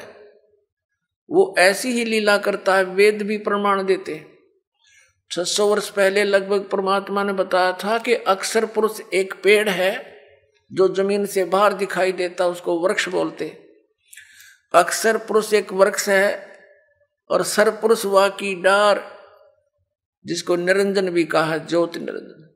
और तीनों देवा, रजगुण, ब्रह्मा, सतगुण, विष्णु, तम गुण शिव जी तीनों देवा शाखा हैं और पात रूप संसार। अब गीता ज्ञानदाता कहता है कि जो इस संसार रूपी वृक्ष के जो ऊपर को जड़, नीचे को शाखा वाला उल्टा लटका संसार रूपी वृक्ष है वृक्ष है, जो इसके सभी छंद यानी सभी विभागों को बता देगा। वो तत्वदर्शी संत है, वो वेद के तात्पर्य को जानने वाला है। अब देखिएगा, परमात्मा ने 600 वर्ष पहले बता दिया था कि अक्षर पुरुष एक पेड़ है, ज्योति निरंजन यानी सरपुरुष वा की डार और तीनों देवा शाखा है। ये पात्र रूप संसार। अब देखो। परमात्मा ने बताया, कबीर अक्सर पुरुष एक पेड़ है, निरंजन वा की डार, इसको सर पुरुष भी कहते हैं, ज्योति निरंजन को। और तीनों देवा, रजगुण ब्रह्मा, सतगुण विष्णु तम गुण शिव जी रूपी शाखा है, ये पात रूप संसार। ये देखिएगा। ये, क्योंकि ये ज़मीन से, ये प्रोक्ष है, पूर्ण परमात्मा तो गुप्त है। ज़मीन में जैसे जड़ प्रोक्ष होती है जड़ ज़मीन में जैसे जड़ प्रोक्ष होती है। अब ये तना, ये अक्षर पुरुष है। अक्षर पुरुष एक पेड़ है और सर पुरुष वह की डार, ये मोटी डार। सर पुरुष कहो, ज्योति निरंजन कहो, काल ब्रह्म कहो। और तीनों देवा, रजगुण ब्रह्मा, सतगुण विष्णु तम गुण शिव शिव जी ये शाखा है। और पात्र संसार तो सचिदानंद घन ब्रह्म की वाणी में ये कंप्लीट ज्ञान लिखा हुआ है। गीता जी के अध्याय नंबर चार के श्लोक नंबर बत्तीस का ये निष्कर्ष है कि उस सचिदानंद गणब्रह्म की वाणी में सब साधना यानी धार्मिक अनुष्ठानों की जानकारी बहुत विस्तार के साथ और यथार्थता से दे रखी है। उससे पूछो और तत्वदर्शी संत की पहचान बता दी कि वो तत्वदर्शी संत बतावेंगे तो कैसा होगा वो?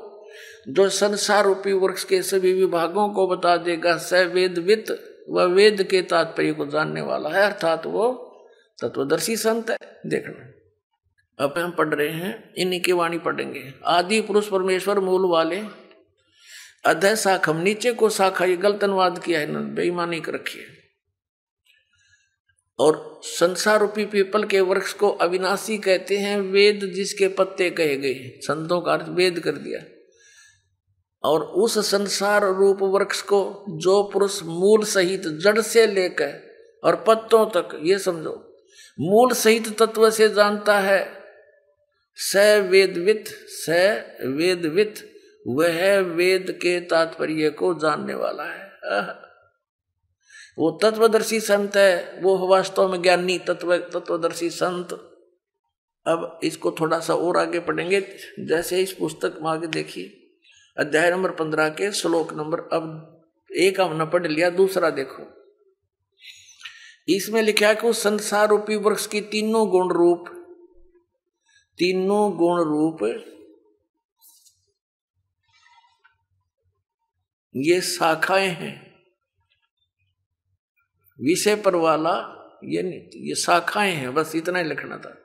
नीचे और ऊपर फैली हुई सर्वत्र नहीं, क्योंकि पृथ्वी लोक पर यह ज्ञान बोला जा रहा था, और श्री ब्रह्मा, श्री विष्णु, श्री रजगुण ब्रह्मा, श्री सतगुण विष्णु विष्णु, श्री तमगुण शिव जी की जो पहुँच है, रीच है, उनकी जो पहुँच है, जो उनका उनका प्रभुता है उनकी। वो केवल इन तीन लोकों पर है। पृथ्वी लोक नीचे पाताल लोक और ऊपर स्वर्ग लोक। इन तीन लोकों पर, पर इनकी प्रभुता है। यहाँ तक इनकी पहुँच है। ये एक एक विभाग के मंत्री हैं। और पृथ्वी लोक पर यू बोला जा रहा है क्या ना ऊपर और नीचे यानी स्वर्ग और नीचे पाताल तक इनकी क्षमता है। रजगुण ब्रह्मा सतगुण विष्णु गुण शिव जी की। देखना। श्रीमद भगवत गीता अध्याय नंबर पंद्रह का हम श्लोक नंबर अब दूसरा पढ़ रहे हैं। उस संसार रूप, संसार वृक्ष की तीनों गुण रूप शाखा, ये है अध्यय ऊर्धम प्रसन्नता, तस्य शाखा गुण प्रवर्धा। अब यहाँ तीनों गुण रूप जल से बड़ी हुई शाखाएँ नहीं है यह है विषय पर वाला शाखा विषय विकारों की शाखाएँ हैं, ऐसा समझो, इन्हें गलत कर रखा नीचे और ऊपर सर्वतरनी नीचे और ऊपर फैली हुई है, और मनुष्य लोक में, यहाँ पृथ्वी लोक पर, कर्मों के अनुसार, कर्मों के अनुसार बांधने वाली, यानी कर्मों के आधार पर ये हमें सुनियोजित रखने वाली भी मुख्य कारण है। मूलानी माने जड़ हैं, ये मुख्य कारण है। नीचे और ऊपर सभी लोकों में नहीं, केवल नीचे ऊपर फैली हुई यहाँ एक शब्द है तीनों गुण रूपी सा, तीनों गुण रूप शाखा। अब रजगुण ब्रह्मा है सतगुण विष्णु तमगुण शिव जी ये कंसेप्ट क्लियर करना पड़ेगा। एक तो बहुत ही सिंपल सा देखिए आप। रजगुण ब्रह्मा है, यही तीनों गुण है, यही तीन देवता। इन्हीं पुराणों में देखिएगा। ये गीता प्रेस गोरखपुर से प्रकाशित है। मारकंडे पुराण।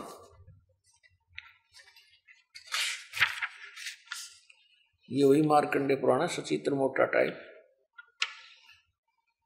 अब ये कहाँ से छपी है, यहाँ से देखना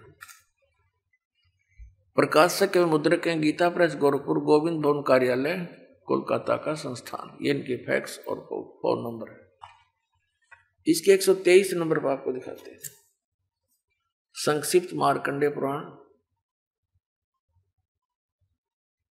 122 पृष्ठ से शुरू करेंगे। ये मार्कंडे जी बोल रहे हैं। मार्कंडे जी अपना ज्ञान बता रहे हैं और इसके सामने आ जाते हैं। यहाँ रजोगुण प्रधान ब्रह्मा, तमोगुण प्रधान रुद्र और सत्व सत्व प्रधान श्री विश्वपालक विष्णु है। यही तीन देवता हैं और यही तीन गुण हैं। यही तीन देवता हैं रजगुण, ब्रह्मा, सतगुण, विष्णु तब गुण शिव जी और यही तीन देवता कहो, चाहे इनको तीन गुण कहो। वह कंसेप्ट क्लियर वैसे तो बुद्धिमान को कहते हैं संकेत बहुत होता है, लेकिन फिर भी ये बहुत गहरी जड़े हैं इस अज्ञान की हमारे अंदर। और प्रमाण देते हैं एक, देखिएगा। ये है श्रीमद देवी भागवत, हिंदी टीका सहित भाग एक। ये कहाँ से प्रकाशित है? ये है अथ देवी भागवतम, भाषा सब, सभाष्टिकम समातम खेमरा श्री कृष्ण दास प्रकाशन मुंबई चार। अब यहाँ देखना। इसमें संस्कृत भी साथ है, बहुत कमाल है ये है अथ श्रीमद देवी भागवते भाषा टीका युक्ते तृतीय सकंद प्रारंभते। तीसरा सकंद प्रारंभ हुआ। अब इसके ग्यारहवें प्रश्न पर। तीसरे सकंद में ग्यारहवा पृष्ठ पर हम अब आ गए हैं। पांचवा अध्याय है ये।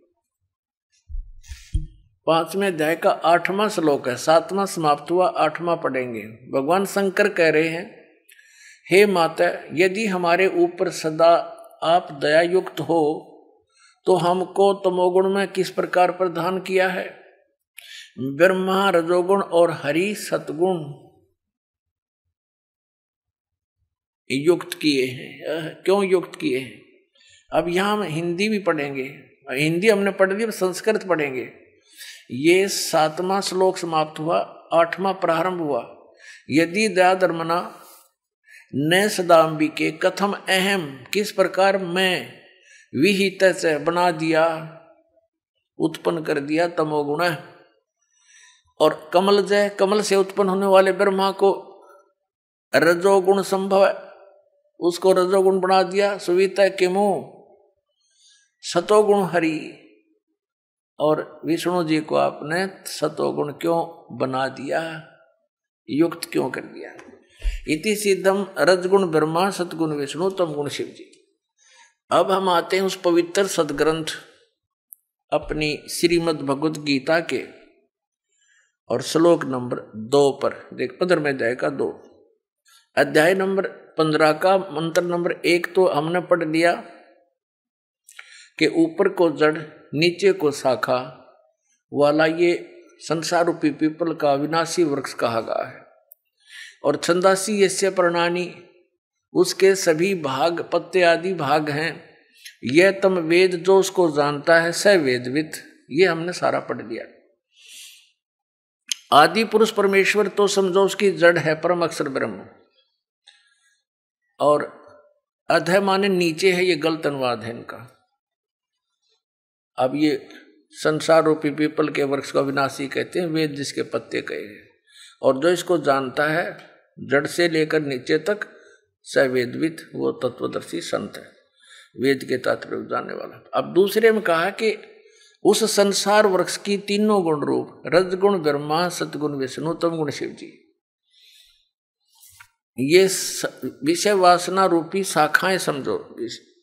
और ये नीचे और ऊपर फैली हुई है सर्वतर नहीं ये मनुष्य लोक में कर्मानुसार भी यही हमें सुनियोजित रखते हैं। जैसा जिसका कर्म है, वैसा ही देते रहते हैं।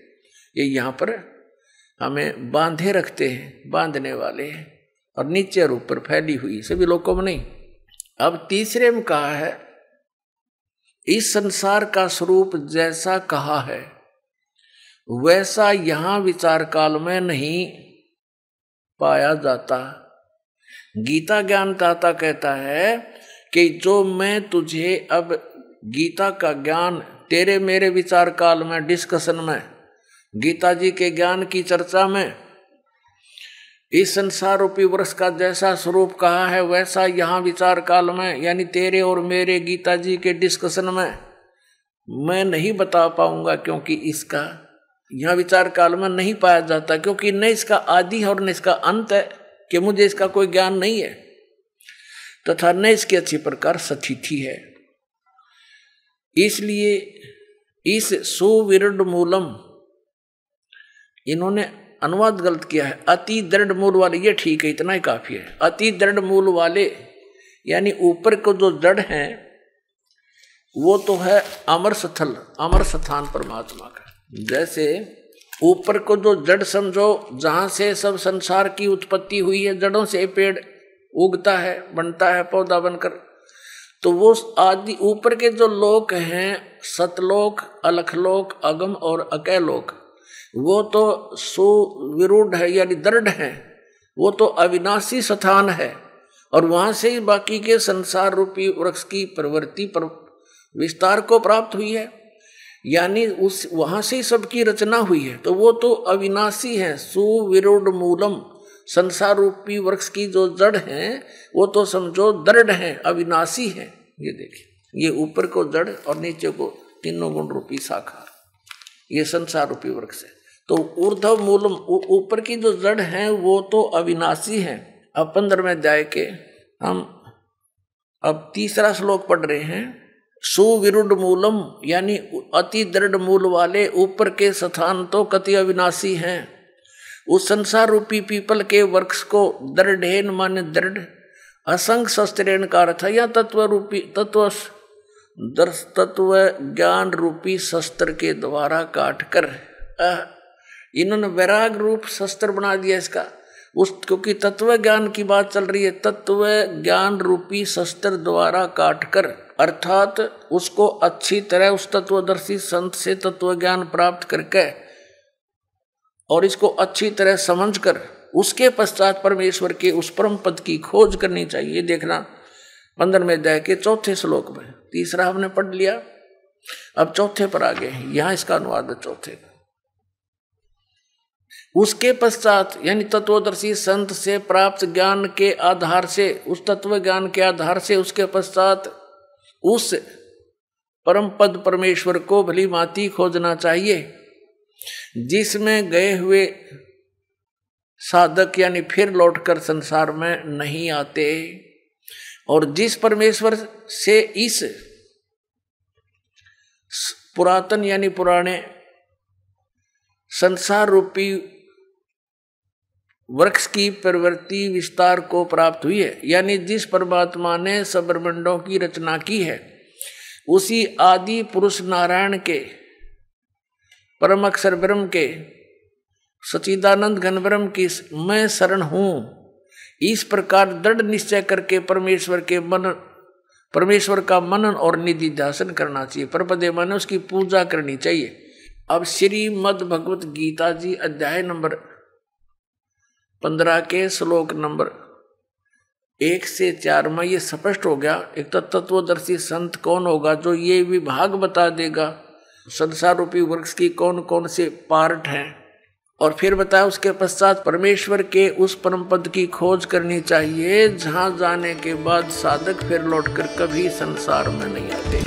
इससे यह भी स्पष्ट होता है कि गीता में वर्णित तत्वदर्शी संत न मिलने के कारण ही किसी भी संत धर्म गुरु और कथावाचक को आज तक यह पता नहीं चला कि वास्तविक गीता ज्ञान दाता श्री कृष्ण नहीं, बल्कि काल ब्रह्म है। सवाल नंबर चार, अगर गीता ज्ञानदाता ही सर्वशक्तिमान परमात्मा है तो ज्ञानोपदेश करते समय वह अर्जुन को गीता अध्याय 18 श्लोक बासठ में किस अन्य परमात्मा की शरण में जाने का निर्देश कर रहा है? क्या वह भगवान श्री कृष्ण जी से भिन्न है? और अगर भगवान श्री कृष्ण अविनाशी परमात्मा नहीं है तो वह सर्वोच्च अविनाशी परमात्मा कौन है? दर्शकों, यह तो सिद्ध हो गया कि गीता ज्ञान दाता काल ब्रह्म है। यह स्वयं गीता, अध्याय पंद्रह, श्लोक चार में कहता है कि गीता अध्याय चार, श्लोक चौथीस अध्याय पंद्रह, श्लोक एक में वर्णित, तत्वदर्शी संत मिल जाने के पश्चात उस परमेश्वर के परम पद, अर्थात सतलोक को भली भांति खोजना चाहिए, जिसमें गए हुए साधक फिर लौटकर संसार में नहीं आते, और जिस परम अक्षर ब्रह्म से सृष्टि उत्पन्न हुई है उस सनातन पूर्ण परमात्मा की मैं भी शरण में हूँ। इससे स्पष्ट है कि न तो गीता ज्ञानदाता काल ब्रह्म वास्तविक भगवान है और न ही श्री कृष्ण जी। इसलिए गीता ज्ञान देने वाले ब्रह्म ने गीता अध्याय 18 श्लोक बासठ में कहा है कि, हे भारत, तू सब प्रकार से उस परमेश्वर की ही शरण में जा। उस परमात्मा की कृपा से ही तू परम शांति को तथा सदा रहने वाला सत स्थान अर्थात सतलोक को प्राप्त होगा। आइए, अब जान लेते हैं कि वह पूर्ण परमात्मा कौन है। जिसके बारे में गीता में बार बार निर्देश दिया गया है। गीता जी डाय नंबर आठ के श्लोक नंबर अब एक में अर्जुन ने पूछा कि किम तत्परम उसका उत्तर दिया तीसरे श्लोक में, आठवें अध्याय के में, कि परम अक्षर ब्रह्म है। आठवें अध्याय के पाँच और सात में तो गीता ज्ञानदाता कहता है, मेरी भक्ति कर मुझे प्राप्त होगा, लेकिन युद्ध करना ही पड़ेगा। यानी यहाँ शांति नहीं, ओम से शांति कभी नहीं हो सकती। ओम के जाप से जन्म मृत्यु सदा रहेगी और कर्म ये युद्ध करना ही पड़ेगा। फिर आठवें अध्याय के आठ, नौ, दस में ये स्पष्ट किया है कि सत्रहवें अध्याय के तेईसवें श्लोक में तो वो मंत्र बताया जिस तरह भगवान सचिदानंद गण ब्रह्म मिलेगा उसकी प्राप्ति होगी और उसकी प्राप्ति के बाद फिर जन्म मृत्यु कभी नहीं होता, सनातन परम धाम प्राप्त होगा। तो यहाँ बताया कि उसकी भक्ति जो करता है, तत्वदर्शी संत की खोज करके, तत्वदर्शी संत से ये उपदेश प्राप्त करके, ओम तत्सत का। ओम तत्सत ये जाप नहीं है, ओम तो सीधा सरपुरुष का, ब्रह्म का, और तत् और सत ये सांकेतिक है। तत् है ये अक्षर पुरुष का और सत्य है ये परम अक्षर, ब्रह्म का परम अक्षर, पुरुष का जो आठवें अध्याय के तीसरे श्लोक में जिसके विषय में जानकारी दी। श्रीमद भगवत गीता अध्याय नंबर पंद्रह के श्लोक नंबर सोलह और सत्रह में तीन पुरुष हैं सर पुरुष अक्षर पुरुष सोलहवें श्लोक में कहा कि सर पुरुष और अक्षर पुरुष ये दो प्रकार के प्रभु हैं, परमात्मा हैं। वास्तव में परमात्मा नहीं है, लेकिन इनको भी परमात्मा कहते हैं। ये इनके अंतर्गत जितने प्राणी हैं और इनके सभी के सथूल शरीर यानी नासवान है, ये भी नासवान है दोनों प्रभु यानी पुरुष, और इनके अंतर्गत जितने प्राणी, वो भी नासवान है। जीवात्मा तो किसी की भी नहीं मरती, वो तो कुत्ते की भी ना मरती। अब पंद्रहवें अध्याय के सत्रहवें श्लोक में फिर कंसेप्ट क्लियर कर दिया कि उत्तम पुरुष है तू अन्य उत्तम पुरुष, वो श्रेष्ठ परमात्मा, वो परम अक्षर ब्रह्म की तरफ़ संकेत है, जो संसार रूपी वृक्ष की मूल है। और उस मूल से सबको आहार प्राप्त होता है। पूरे संसार रूपी वृक्ष का उसी से पोषण होता है, वृद्धि को प्राप्त होता है। तो पंद्रहवें अध्याय के सत्रहवें श्लोक में गीता ज्ञानदाता कह रहा है कि वो उत्तम पुरुषत्व अन्य और परमात्मा इति उदाहरते जिसको परमात्मा कहा जाता है। और वो उत्तम पुरुष श्रेष्ठ परमात्मा तो कोई और है सोल सोलहवें श्लोक में वर्णित। इन दोनों सरपुरुष और अक्षर पुरुष से कोई और है? वो कौन है? वो परम अक्षर पुरुष है। परम अक्षर ब्रह्म कहो, परम अक्षर पुरुष कहो, उसको पूर्ण ब्रह्म कहो या उसको सत्य पुरुष कहो। सत्य माने अविनाशी, पुरुष माने प्रभु। और वही यह लोक चरण आविश्य विवर्ती, वही तीनों लोकों में प्रवेश करके सबका धारण पोषण करता है। अवय ईश्वर वो है वास्तव में अविनाशी परमेश्वर। अब आठवें अध्याय के आठ, नौ, दस श्लोक में स्पष्ट किया है कि अर्जुन जो उस परम अक्षर ब्रह्म की साधना करता है, जो आठवें अध्याय के तीसरे श्लोक में गीता ज्ञानदाता जिसके विषय बता रहा है, उसकी जो भक्ति करता है, उस मंत्र से जो तत्वदर्शी संत से प्राप्त करके, वो फिर उसी को प्राप्त होता है। उसको प्राप्त होता है तो वो अविनाशी परमात्मा है, वो तो सतलोक में रहता है, सनातन परम धाम में रहता है। तो इस प्रकार जीव का मोक्ष होता है। अब हमारी पवित्र श्रीमद भगवत गीता ये ज्ञान दे रहा है। और गीता ज्ञानदाता अपनी साधना को अनुतम बता रहा है। और ये अज्ञान आधार से अनुवाद करता हमारे गुरु, पूर्व के गुरु जो थे, अज्ञानी इन्होंने अनुतम का अर्थ ही अति उत्तम कर डाला सातवें दया के अठारहवें श्लोक में और सातवें दया के चौबीसवें श्लोक में। इन अनर्थ कर डाले। अठारहवें अध्याय के छठवें श्लोक में गीता ज्ञानदाता कहता है कि सर्वधर्मान परितज माम, मेरे सतर की जितनी भी धार्मिक क्रियाएँ हैं, अनुष्ठान हैं, वो मुझमें त्याग दे। यानी मुझे सौंप दे। जैसे ओम तत् सत में तीन मंत्र है। ओम तत् ये सांकेतिक है सतवी सांकेतिक है। ओम तो ब्रह्म का है। कहते, मेरे सतर की जितनी पूजाएँ तूने की है, वो मुझे दे दे। और उसके पश्चात उस परमेश्वर की एकम शरणम व्रज एकम जिसके बराबर दूसरा ना हो, अद्वितीय सर्वशक्तिमान यानी परम अक्षर ब्रह्म। उसकी शरण में व्रज माने जा जाना होता है। इन अज्ञानियों ने सबने व्रज माने आना कर रखे आ जा मेरी शरण में आ जा देखिए एक नहीं दो नहीं बल्कि दर्जनों अनुवादकर्ताओं की गलती जिन्होंने गीता को सही से न समझकर अर्थ का अनर्थ कर रखा है। श्री मद भगवत गीता अध्याय नंबर अठारह के श्लोक नंबर छसठ में कहा है कि सर्वधर्मान प्रीतज माम एकम शरणम वर्ज अहम तवा, सर्व पापे भ्या मोक्षामी मासुच वर्ज का अर्थ, जाना होता है, आना नहीं होता। और जो वर्ज माने आना, आने के लिए कहते हैं, आना करते हैं, वो पूर्ण रूप से अज्ञानी है। जैसे एक इंग्लिश वर्ड है गो वो कहीं पर भी लिखा हो, किसी भी सेंटेंस में। उसका अर्थ कम नहीं हो सकता, आना नहीं हो सकता। इसी प्रकार ये वर्ज माने जाना है और जितने भी पवित्र हिंदू धर्म के मार्गदर्शक और इन श्रीमद भगवत श्रीमद भगवत गीता के अनुवादकर्ता, इन सभी ने अनर्थ कर रखा है। वर्ज का अर्थ आना कर रखा है कि मेरी शरण में आ जा। जबकि ये कह रहा है कि सर्वधर्मान प्रीतज माम गीता ज्ञानदाता कहता, मेरे सतर के सभी धार्मिक क्रियाओं को मेरे में छोड़कर एकम शरणम व्रज, एकम जिसके बराबर दूसरा ना हो, अद्वितीय। अहम तवा सर्व पापे भव मोक्षामी मासुच, तब मैं तुझे सब पापों से मुक्त कर दूँगा। तू चिंता मत करे।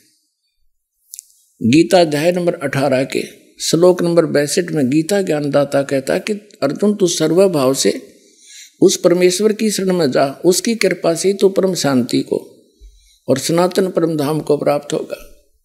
और अपने विषय में करा कि मेरी शरण में रहेगा तो तूने युद्ध भी करना होगा। आठवें अध्याय के पाँच और सात में कि मेरे, मेरी भक्ति कर, मुझे प्राप्त होगा, लेकिन युद्ध करना पड़ेगा। जहाँ युद्ध है, वहाँ शांति हो नहीं सकती। तो यहाँ गीता अध्याय नंबर अठारह के श्लोक नंबर छसठ में वर्ज का अर्थ जाना होता है, आना जिन्होंने किया वो महामूर्ख है। अब देखिए इन्होंने कैसे अर्थ किए हैं। अब हम फिर आते हैं उसी प्रसंग पर। ओम मंत्र का जाप दे देंगे इस काल को। इसने कहा है कि सर्वधर्मान प्रीतज माम, इसका अर्थ ये बनता है अठारहवें जाए के छसठवें श्लोक का, कि मेरे सतर के ओम नाम का और ये यज्ञ तुम करते हो। हवन यज्ञ आदि। ये सब धार्मिक अनुष्ठानों की कमाई मुझको दे दे। फिर तू उस सर्वशक्तिमान, उस एकम जिसके बराबर दूसरा ना हो, उसकी शरण में जा।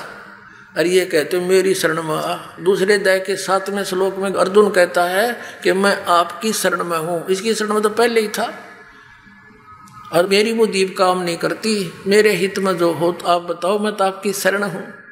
और फिर नो कहा मेरी शरण में आ जा, ये तो वर्धमाने जाना होता है। अभी दिखाते हैं आप। ये देखिएगा, एक शब्द कोश दिखाते हैं। ये है संस्कृत हिंदी कोश। इसका वामन शिवराम आपटे इसका संग्रह करता है। ये Motilal Banarsi Das publishers private limited Delhi से प्रकाशित है। इसके नौ सौ तिरानवे पृष्ठ पर आपको ले सकते हैं। यहाँ क्या लिखा व्रज शब्द है व्रज व्रज माने जाना, चलना, प्रगति करना, विदा होना, जाना, चलना। स्पष्ट हुआ? व्रज माने जाना होता, आना नहीं हो सकता। अब गीता प्रेस गोरखपुर वाले, गीता आपने देख ली व्रजमा ने आ जा मेरी शरण में जा अब दिखाता हूँ आपको आसाराम जी। महाराज के द्वारा प्रकाशित श्रीमद् भगवद गीता, संतरी आसाराम आश्रम, अहमदाबाद। ये देखिएगा। संत श्री आसाराम जी आश्रम, इनका ओम ताग कोई ब्योत नहीं श्री योग वेदांत सेवा समिति, संत श्री आसाराम जी आश्रम, संत आसाराम जी बापू आश्रम मार्ग, अहमदाबाद। आश्रम रोड जहांगीरपुर ये इनका फैक्शन अब इसमें देखिएगा, ये अठारहवें अध्याय का, अठारहवा अध्याय मोक्ष संन्यास योग छसठवा श्लोक सर्वधर्मान प्रीतज माम एकम शरण व्रज। संपूर्ण धर्मों को अर्थात संपूर्ण कर्तव्य कर्मों को मुझमें त्याग कर तू केवल मुझ सर्वशक्तिमान, सर्वधार परमेश्वर की शरण में आ जा। ठीक है। अब नंबर दो। ये दिखाते हैं सतपाल अंसादेश वालों के द्वारा अनुवाद। ये कहाँ से छपा है? श्रीमद् भगवत गीता। जय गुरुदेव। जय गुरुदेव वंदे विष्णु। श्री कृष्ण वंदे जगत गुरु श्रीमद् भगवद गीता। अनुवादक हैं ब्रह्मलीन महात्मा सत्यानंद। महात्मा सर्वज्ञानंद। आदि संपादक अंसादेश प्रकाशक मानव उत्थान सेवा समिति, दो बटा बारह पंजाबी बाग, नई दिल्ली। और ये मुद्रक है Rajeshwari photo setters private limited Delhi. और इसका ये देखिएगा, ये सतपाल जी महाराज हैं। श्री सतपाल जी महाराज, ये इसके, ये देखना, ये इनको मान्य है ये अनुवाद? ये अष्टादशो अध्याय। और यहाँ का रखा है इन्होंने। ये इकसठ बैसठ तिरसठ तक यहाँ है। चौंसठ से लेकर और छसठ तक। सर्वधर्मान प्रीतज माम एकम शरणम व्रज। इसका अनुवाद इन्होंने यहाँ किया है कि सर्वधर्मों के कर्मों को छोड़कर केवल मेरी शरण में आ। नंबर दो। अब आपको दिखाते हैं तीसरा सुधांशु जी महाराज। ये सुधांशु जी महाराज, इन्होंने ये कहाँ से छपी है? प्रकाशक हैं। विश्व जागृति प्रकाशन Omkareshwar Mahadev Mandir, G block Mansarovar garden, Delhi. मुद्रक हैं इंटर इंडिया पब्लिकेशंस, डी सत्रह राजा गार्डन, नई दिल्ली। ऐसे ऐसे, ये यहाँ पर। अब इसके हम अठारहवें श्लोक को दिखाते हैं आपको। ये अठारहवा अध्याय, मोक्ष, संन्यास, योग, छसठवा अठारवा जाएगा छठवा श्लोक, सर्वधर्मान प्रीतज माम एकम शरणम व्रज। संपूर्ण धर्मों का आश्रय छोड़कर तू केवल मेरी शरण में आ जा। ठीक है, तीन। अब चौथा दिखाते हैं आपको। अब देखिएगा एक, पूरा जो कितना बड़ा, इसका अनुवाद देखकर हैरान हो जाओगे तो। साधक संजीवनी नामक है इसका टीका श्रीमद् भगवद गीता का टीका, श्री राम सुखदास जी ने किया है। श्रीमद् भगवत गीता स्वामी राम सुखदास जी। प्रकाशक हैं, वे मुद्र के गीता प्रेस, गोरखपुर गोविंद भवन कार्यालय, कोलकाता का संस्थान, ये इनके फोक्स और फ़ोन नंबर है। इसने तो कमाल कर रखा देखियो। ये देखो, अठारहवें अध्याय का छसठवा श्लोक। ये है छसठवा श्लोक।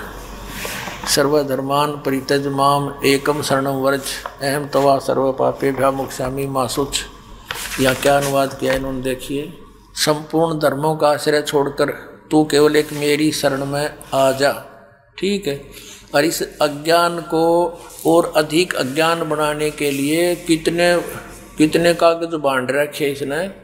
अब देखो 1200 से शुरू होता है ये। अठारहवें जाएगा छः छठवा श्लोक। और आओ दिखाए आपको। बहुत तरह के जगह ये 1200 से लेकर 1217 तक, ये 1217 पृष्ठ तक, और कति छोटी छोटी लिखाई है, अठारहवें अध्याय छठवें श्लोक का। एंड बैंड लिखते लिखते सत्रह पृष्ठ भर दिए न और कख नहीं इसके अंदर, और कितनी छोटी लिखाई है, जैसे समाचार पत्र की वाकर और इसे सत्रह पृष्ठ ठोक रखे एक दो अक्षर की बात थी, वर्धमान जाना होता है इन अज्ञानियों ने ज्ञान तो था नहीं और हुआ बाई बकडाली, इसके अंदर अज्ञान बना दिया।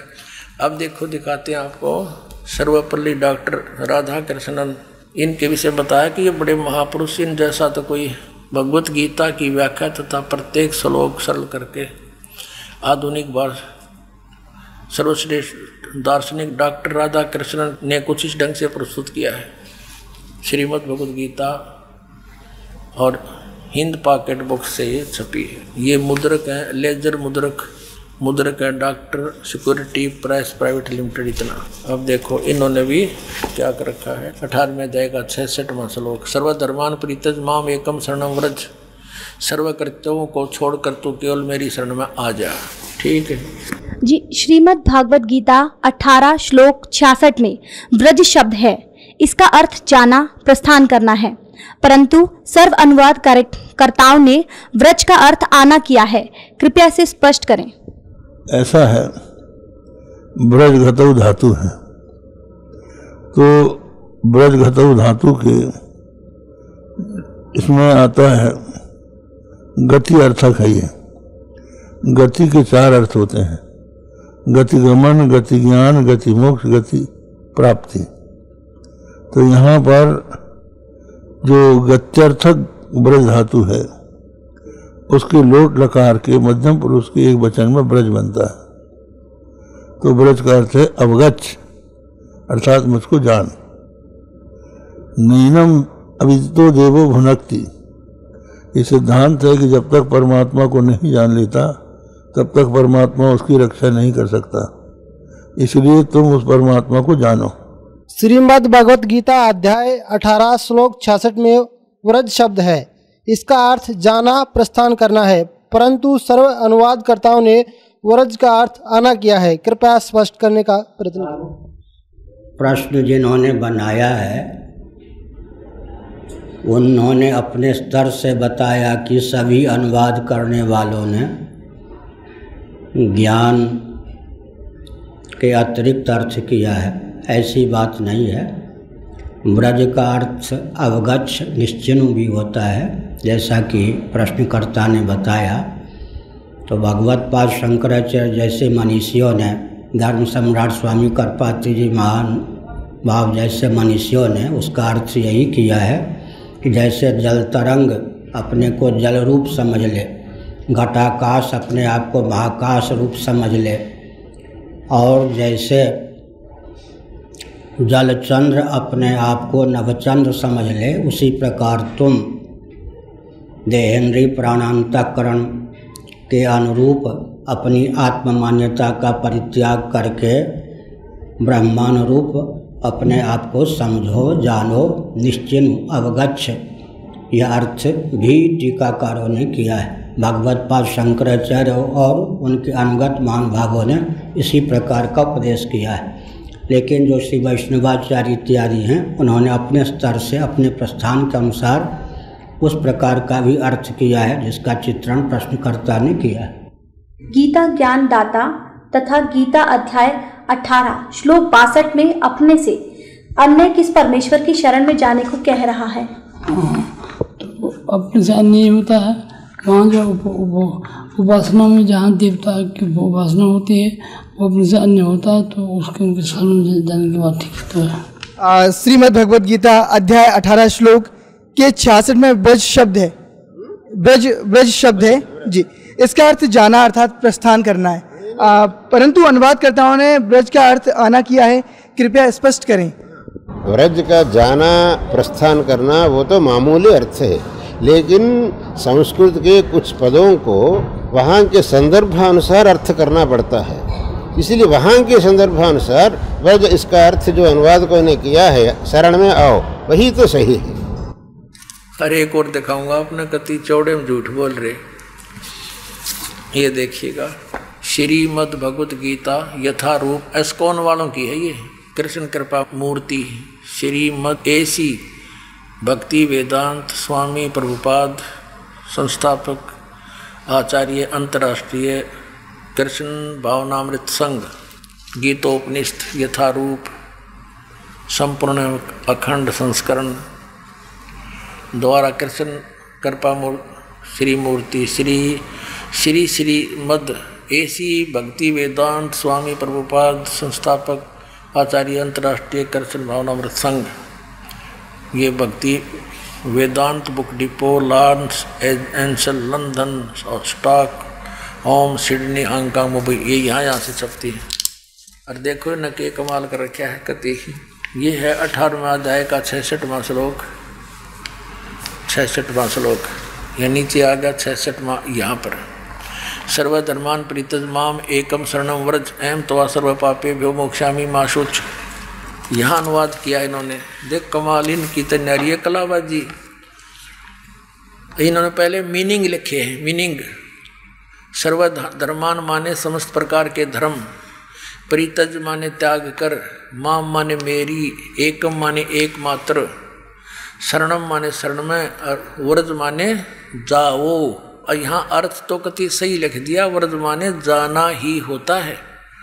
और देखो, नीचे क्या अनुवाद यहाँ कर दिया, समस्त प्रकार के धर्मों का परित्याग करो और मेरी शरण में आओ। अरे वाह, अंग्रेज़ों, ये थे हमारे विद्वान पुरुष, कक्का पता नहीं ने और महर्षि आचार्य और शंकराचार्य कब आ गई है। आपको और दिखाते कलयुगी महर्षि के द्वारा इसका कैसे समाधान किया शंका का। इसने देख के तो आपका कलजा पटेगा। इसे विद्वान था महर्षि दयानंद, दिखाता हूँ आपको। ये है एक पुस्तक महर्षि दानंद सरस्वती का जीवन चरित्र। इसके लेखक हैं अमर शहीद पंडित लेखराम, द्वारा संकलित प्रमाणिक उर्दू भाषा का आर्य भाषा अनुवाद। अनुवादक हैं आर्य महाउपदेशक श्री कविराज रघुनंदन सिंह निर्मल। संपादक हैं पंडित श्री हरिचंद्र विद्यालंकर। प्रकाशक हैं आर्य समाज नया बाँस दिल्ली छः स्वर्ण जयंती के उपलक्ष्य में। अब इसके 208 पृष्ठ पर ले चलते हैं आपको। ये 208 पृष्ठ है। और कौन सा प्रसंग है ये? जीवन चरित्र महर्षि स्वामी दान सरस्वती। मिर्जापुर की घटनाएँ हैं ये। यहाँ लिखा है, एक समय इसके पास क्या है? राम गोपाल वैश्य ने जो वेदांती था, बहुत सी टीकाएँ यानी अनुवाद गीता की देखी, परंतु एक श्लोक के विषय में जो उसका संदेह था, वह दूर न हुआ। अंत में वह एक दिन हमको साथ लेकर लेखक कहता, स्वामी जी, यानी महर्षि दानंद जी के पास गया और स्वामी जी से कहा कि आपसे कुछ पूछना है। उन्होंने आज्ञा दी, तब यह श्लोक पूछा सर्वधर्मान प्रीतज माम एकम शरणम व्रज। स्वामी जी ने कहा, इसके बारे में देखो, ये राम गोपाल वैश्य था, कोई लाला जी वेदांती था, बुद्धिमान था। इसका ये बात खटकी कि व्रज माने जाना होता है और सबने आना कर रखा है। तो महर्षि दानंद का बोल बाला था तो वहाँ गया, उससे पूछा, महाराज, इसका अर्थ बताओ। समाधान बताओ कि व्रत माने जाना होता है, ये आना कैसे कर रखा सबने? तो चले फिर महर्षि दानंद इसका समाधान करने देखना। स्वामी जी ने कहा, सर्वधर्मान प्रीत माम एकम शरण व्रज व्रज का समाधान करने चले स्वामी दानंद स्वामी जी ने कहा, सकंद वादीसु परम रूपम वाचम इस वार्तिक के, वकार के आकार के आगे परे जो आकार रहा उसको तद्रूप हो गया, अर्थात वह शब्द धर्म। ही रहा परंतु वास्तव में अधर्म है। अर्थ अधर्म होगा, जिससे वह बहुत प्रसन्न हुआ। देखो, अब लेखक उसकी बड़ाई कर रहने गए हैं कि उसने समाधान कर दिया किसने स्वामी दानंद ने वर्ज माने जान की बजाय आण का क्या कहता है? वार्तिक का वकार का अकार का है। अकार का अधर्म का अधर्म हो गया धर्म का धर्म अधर्म ही रहा। और कहते हो, बड़ा खुश होया, उसका समाधान हो गया।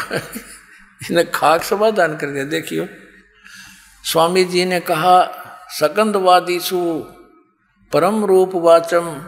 जो मतलब की बात थी वह छेड़ी नहीं, और सिकलीब शुरू कर दी।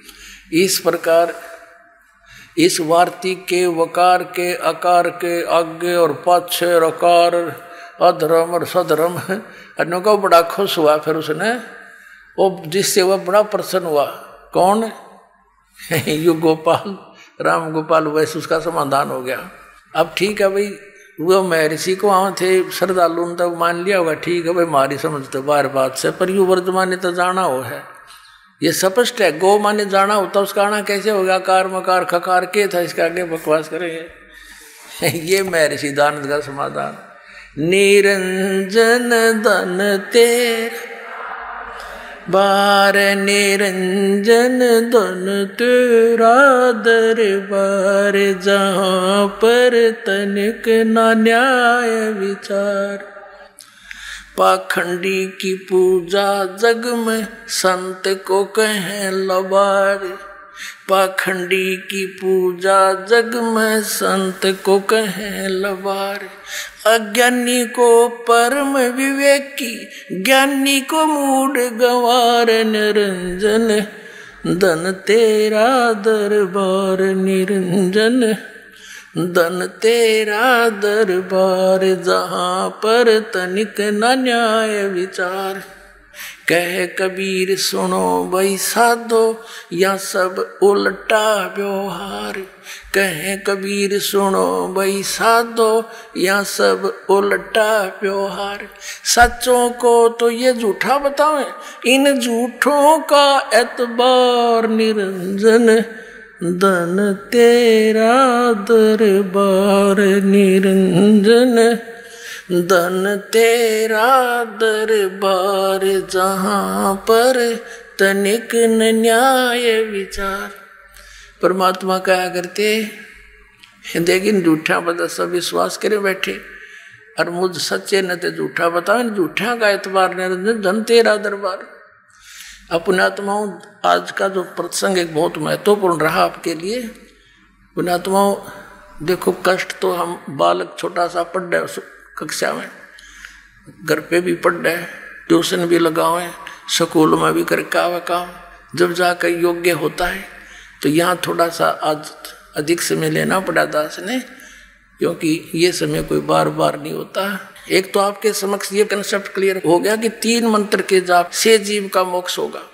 और जो पहले जो मंत्र है फ़र्स्ट एड जो आपकी, वो आपको यहाँ तक क्लियर करेगी। और उसके आगे फिर वो, त्रिकुटी पर हम इस ब्रह्म के ओम नाम के जाप की कमाई दे देंगे। यू कहता है, सर्वधर्मान परितज माम, मेरे सतर की जितनी भी धार्मिक तेरी क्रियाएँ हैं, ओम नाम से लेकर ये यज्ञ आदि मुझे छोड़ दे। फिर एकम शरण व्रज, क्योंकि हम इस ओम नाम का यज्ञों का फल स्वर्ग महास्वर्ग में खाते रहे। अब हम नहीं बरतेंगे अपनी पूंजी ने, इसका पकड़ा देंगे इसको और छोड़ मारा, कर अकाउंट क्लियर फिर जब नो कहा, फिर मैं तुझे सब पापों से मुक्त कर दूँगा। पापों के आधार से हम गधे कुत्ते बनते रहे और पुण्य हम इसकी स्वर्ग में, इसके होटल में बर्बाद कर देते। तो परमात्मा के ज्ञान से हम नहीं इसको कुछ कुछ नहीं छोड़, इसकी, इसका दे देंगे, पकड़ तू पीछा छोड़ छोड़ मारा। और फिर जो दूसरा मंत्र है तत्व मंत्र है। वो सात संग ब्रह्मांड का किराया है इस परब्रह्म यानी अक्षर पुरुष के लोकों से पार करने का। उसका अकाउंट वहाँ करेंगे, उसका जा करके, उस घर में, द्वार में। वहाँ पकड़ा के इस तरह टिकट ले के इसके क्लियरेंस और फिर तीसरा नाम, जो सार नाम है, वो सचखंड सतलोक में पहुंचाएगा। अपने आत्माओं ये आचार्य और ये शंकराचार्य हमारे धर्म गुरु कहते हैं, श्री कृष्ण जी अपने विषय में कह रहे हैं, और और कोई परमात्मा नहीं नहीं और कोई नहीं है। इन्होंने आज पचपन सौ वर्ष हो गए, श्रीमद भगवत गीता और पुराणों को और वेदों को लिपिबद्ध हुए, इन कख नहीं पता इसके बारे में। आचार्य का अर्थ गुरु होता है, और गुरु अध्यापक होता है, जो सिलेबस से पूरा परिचित हो, मास्टर हो, और जिसने कख नहीं पता, वो काय का टीचर, काय का आचार्य ये डबो दिया सारा देश हिंदू समाज को इन्होंने भूत बनवा बनवा के फिर उनने की पूजा करवाते हैं, श्राद्ध निकलवा का पोषण करते हैं लोग। अपने आत्माओं, ये तो कंसेप्ट क्लियर हुआ कि श्रीमद भगवत गीता अध्याय नंबर अठारह के श्लोक नंबर बैसठ में और छसठ में, गीता ज्ञानदाता ब्रह्म है सरपुरुष है। अपने से अन्य उस परम अक्षर ब्रह्म की शरण में जाने को कहता है। वो परम अक्षर ब्रह्म कौन है ये दास बताओगा वो कबीर साहब है, वो काशी के अंदर धानक रूप में, जुल्हे रूप में आया था।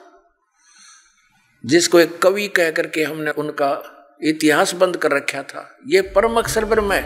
पवित्र वेद भी इस बात को प्रमाणित करते हैं कि यह वही परमात्मा है, जो न तो किसी माता के गर्भ से जन्म लेते हैं और न ही मृत्यु को प्राप्त होते हैं। ये अविनाशी परमात्मा है, जो जीव के प्रारब्ध में लिखे सभी पापों का नाश कर सकते हैं और सभी सुख प्रदान करने में पूर्णतः सक्षम है। देखिए प्रमाण। अब दिखाते हैं आपको परमात्मा की सारी सती थी देखिएगा। ऋग्वेद मंडल नंबर नौ। ऋग्वेद मंडल नंबर नौ अब दिखाते हैं। और सुक्त नंबर छियासी, भगवान साकार है या निराकार है, वो कैसी लीला करता है? ये है ऋग्वेद मंडल नंबर नौ, दस इकट्ठा अनुवाद है। ये है सार्वदेशिक आर्य प्रतिनिधि सभा, महर्षि दानंद भवन रामला मैदान, नई दिल्ली से ये प्रकाशित है। और ये मुद्रक है प्रिंस ऑफसेट प्रिंटर पंद्रह सौ दस पटौदी हाउस दरियागंज, नई दिल्ली से ये छपा है। छपा खाना इसका ये। अब देखना। ये है ऋग्वेद मंडल नंबर नौ और सुख छियासी का मंत्र नंबर छब्बीस। इसमें लिखा कि यज्ञ करने वाले यजमानों के लिए परमात्मा यज्ञ करना, करने वाले माने धार्मिक अनुष्ठान, यानी साधना करने वाले यजमान माने भक्तों के लिए। परमात्मा सब रास्तों को सुगम करता हुआ, उनके विघ्नों को मर्दन करता है और उनको पवित्र करता हुआ और अपने रूप को सरल करता हुआ वह कांति में। परमात्मा, यह लिखना था, कबीर देव कवि कोई भी सर्वज्ञ नहीं हो सकता जिसको सारा ज्ञान हो। कवि कविता बना सकता है, ये कबीर देव लिखना था यहाँ पर, वो कबीर देव। विद्युत के समान, यानी आकाशीय बिजली की तरह सेकंड में नीचे आ जावे, क्रीड़ा करता हुआ, ऐसे लीला करता हुआ, वर्णीय पुरुष को, यानी अच्छी आत्मा को प्राप्त होता है, अच्छी आत्मा को आके मिलता है। वो जैसे आदरणीय धर्मदास जी को मिले, आदरणीय नानक साहिब जी को मिले, आदरणीय मुलुकदास साहिब जी को मिले, आदरणीय दादू साहिब जी को मिले, आदरणीय गरीबदास साहिब जी गाँव छुरानी जिला दद्दर हरियाणा वाले को मिले, आदरणीय गीसा दास साहिब जी गाँव खेखड़ा, यूपी मेरठ वाले को मिले। तो अच्छे पुरुष को आकर प्राप्त होता है। वो कहाँ रहता हो भगवान? सत्ताईसवें श्लोक में। ऋग्वेद मंडल नंबर नौ और सूक्त नंबर छियासी का छब्बीस पटकम सत्ताईस में पा गए इसमें इन्होंने ये जो निराकार मानते थे भगवान को और वेद बता रहे हैं, वह परमात्मा, प्रकाश पुंज को, परमात्मा को, जो परमात्मा ध्यूलोक के तीसरे पृष्ठ पर विराजमान है, वहाँ रहता है।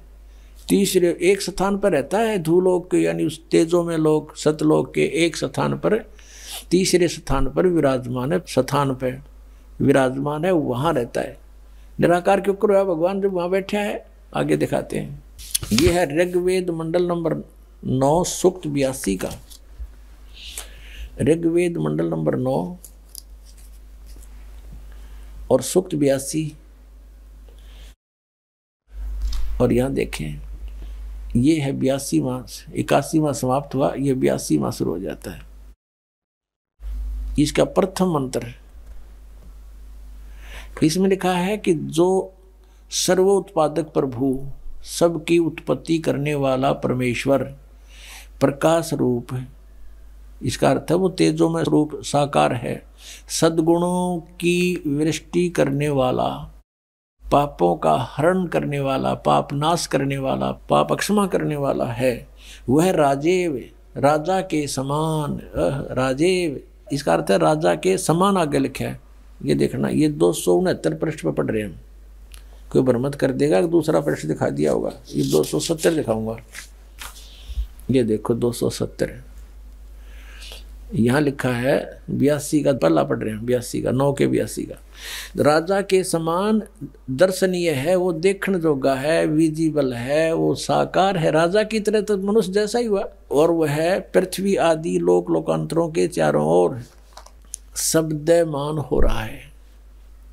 वह वर्णीय पुरुष को, वर्णीय माने अच्छी आत्मा को, श्रेष्ठ पुरुष को जो दृढ़ भक्त है, जो दृढ़ भक्त है, उसको पवित्र करता हुआ प्राप्त होता है। जैसे आदरणीय धर्मदास साहिब जी को जो दृढ़ भगत थे उसके उसके बाद डगमग नीवे आदरणीय मुलुकदास साहिब जी को, आदरणीय दादू दास साहिब जी को, आदरणीय गरीबदास साहिब जी, गाँव छुड़ानी जिला दद्दर हरियाणा वाले को, और आदरणीय गीसा दास साहिब जी को, गाँव खेखड़ा मेरठ यूपी वाले को।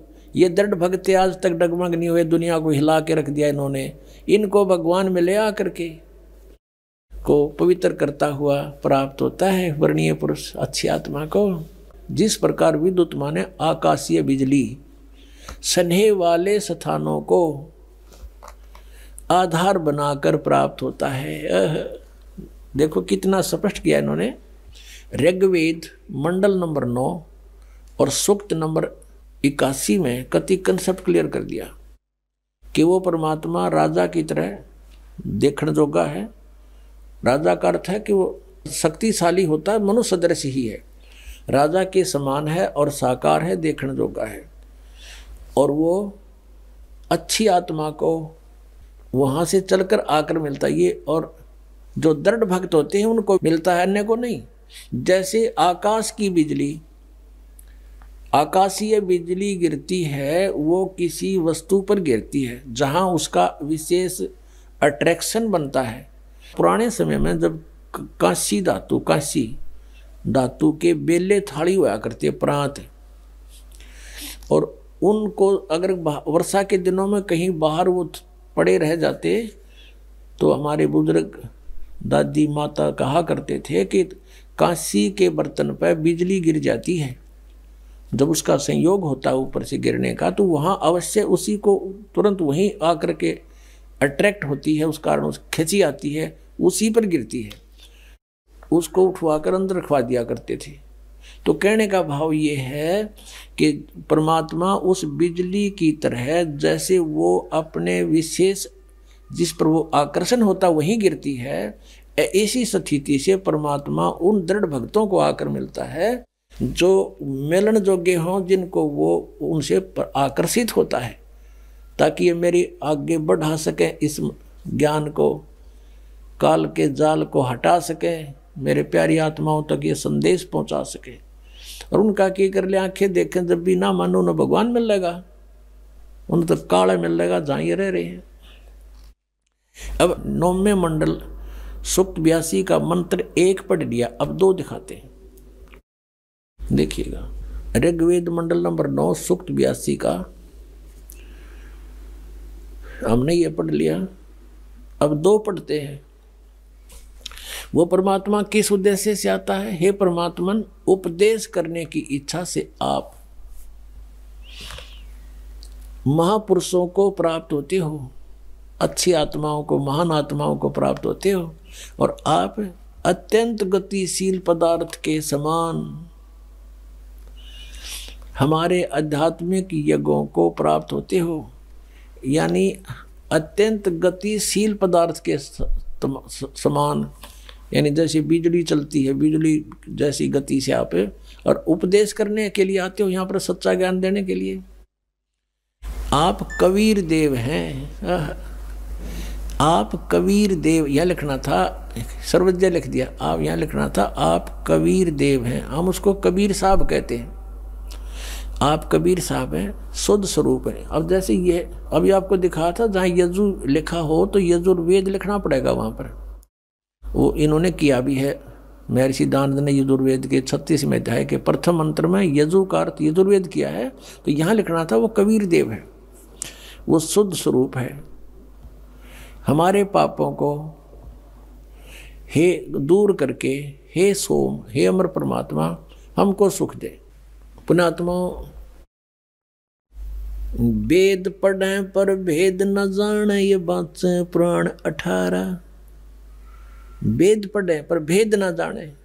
गुरु बिन काहु न पाया ज्ञाना, जो थो था छड़े मूड किसाना। गुरु बिन वेद पढ़े, जो प्राणी समझे न सार रहे अज्ञानी। ये अज्ञानी रहे इन वेदों को पढ़ा करते मैं ऋषि को आगे, इन कक्का भी नहीं पता था। अब जैसे परमात्मा मनुष्य दृश्य ये सिद्ध होगा राजा के समान देखने जोगा है। और वहाँ से गति करके आता है, जिन महापुरुषों को मिलता है। जिन महापुरुषों ने मिला उन बताया, कबीर इज़ गॉड। वो कबीर देव काशी में, हम सुल्तानी नानक तारे दादू को उपदेश दिया। जात जुलाहा भेद न पाया, वो काशी माए कबीर होया। आदरणीय गरीबदास साहेब जी, गाँव छोड़ानी जिला जद्दर वाले, जिनको भगवान आकर मिले थे। क्या कहते हैं, गरीबदास साहेब ने फिर बताया है कि सर्व कला सतगुरु साहेब की या दुनिया दा जीवन झूठा भूल गए मर जाने नु। और सर्व कला सतगुरु साहेब की हरियाए हरियाणे नु। वो परमात्मा हरियाणा में आए। गरीबदास जी 280 वर्ष पहले लगभग सन 1727 में लगभग 300 वर्ष हो गए। 300 वर्ष से भी ऊपर हो गए। सन 1727 में परमात्मा आए थे और सन अठारह में न सन 1966 में हरियाणा और पंजाब अलग हुए, जब हरियाणा क्षेत्र का नाम पड़ा था, यो हरियाणा प्रांत बना था। उससे भी कितने वर्ष पहले, दो सौ ढाई सौ वर्ष पहले परमात्मा ने लिख दिया, बोल दिया था गरीबदास साहिब जी ने कहा था कि हरि आए हरियाणे नू। उनके वचन से फिर यू हरियाणा क्षेत्र आज बनकर रहा, ताकि हम इस परमात्मा की वाणी को समझा सकें। अगर ये वाणी दो सौ वर्ष पहले बोलते, सौ वर्ष, पचास वर्ष पहले से बोलते तो कौन से कहाँ थे हरियाणा था ही नहीं, जब नाम निशान नहीं था। तो ये हरियाणा बनवा दिया रीबिया वाणी हमारे को याद दिला दी कि हरि आए हरियाणे नु, अपना आत्मा। ये तो कंसेप्ट क्लियर हो गया कि कबीर इज़ गॉड। और वेदों में यहाँ तक लिखा है कि उसको बंदी छोड़ कहते हैं, वो कबीर बंदी छोड़ है, देखना, ये यजुर्वेद। ये वही ये दुर्वेद है महर्षि दानंद सरस्वती द्वारा अनुवादित प्रकाशक सार्वदेशिक आर्य प्रतिनिधि सभा, दो बटा पाँच महर्षि दान भवन इलाहाबाद नई दिल्ली। ये महर्षि दानंद सरस्वती कृत ये वहीं से प्रकाशित है। अब इसके अध्याय नंबर पाँच के और श्लोक नंबर बत्तीस को आपको दिखाते हैं। ये देखना पंचमोध्याय पांचवा अध्याय।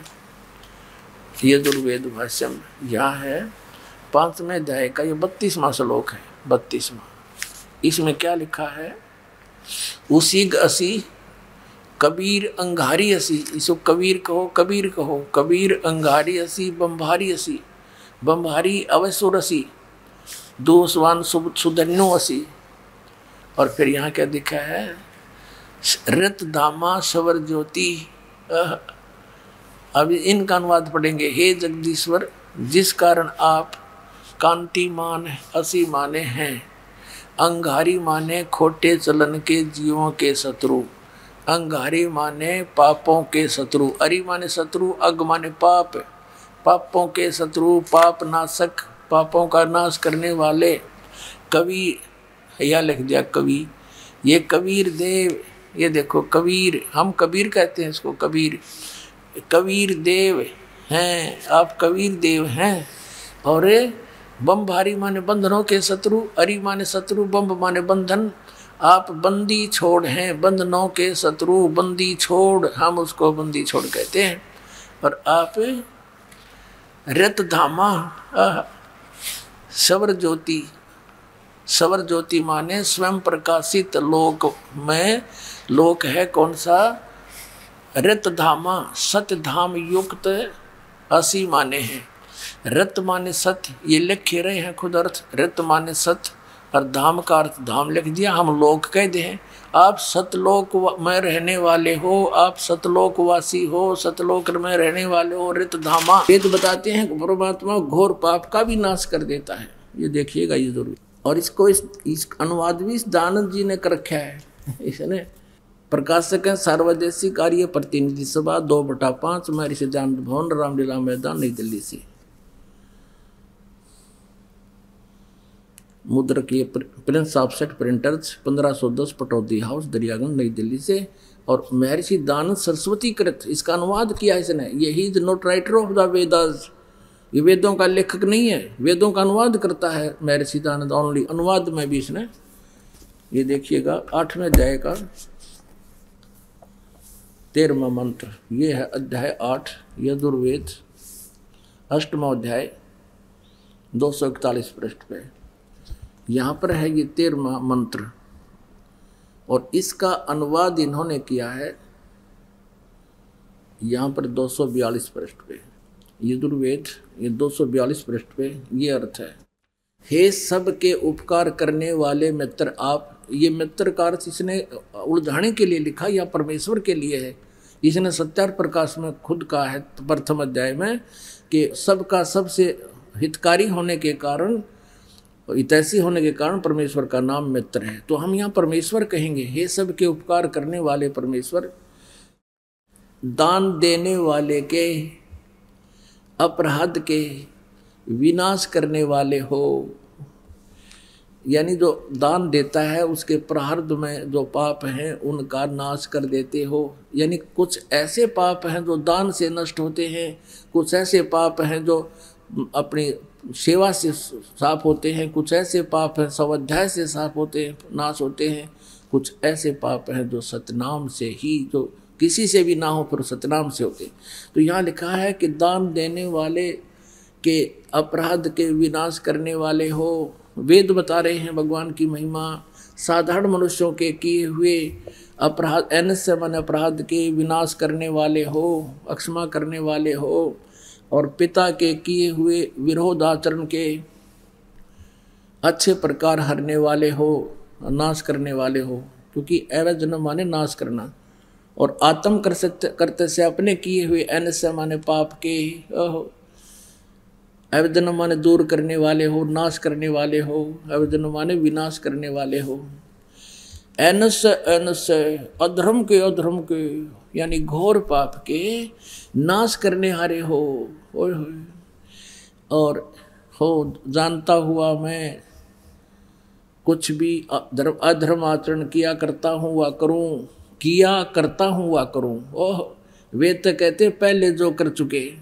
और अब कर रहा हूँ और आगे भी जो करूँगा, अनजान पने में तो जो कुछ भी किया करता हूँ करूँ, उस सब का। एनस माने पाप का दुष्ट दुष्ट आचरण नहीं एनस से, एन, हम ही सब कुछ पढ़ सकते हैं, इसको भी पढ़ सकते हैं संस्कृत को, क्योंकि नागरी लिपि है। एनस माने पाप है। तो कहते हैं, उस सर्वस्व माने सब एनस माने पाप के अवैधनम माने नाश करने वाले आप हैं। परमात्मा कहा करते थे, गुरु बिन वेद पढ़े जो प्राणी समझ न सार रहे अज्ञानी।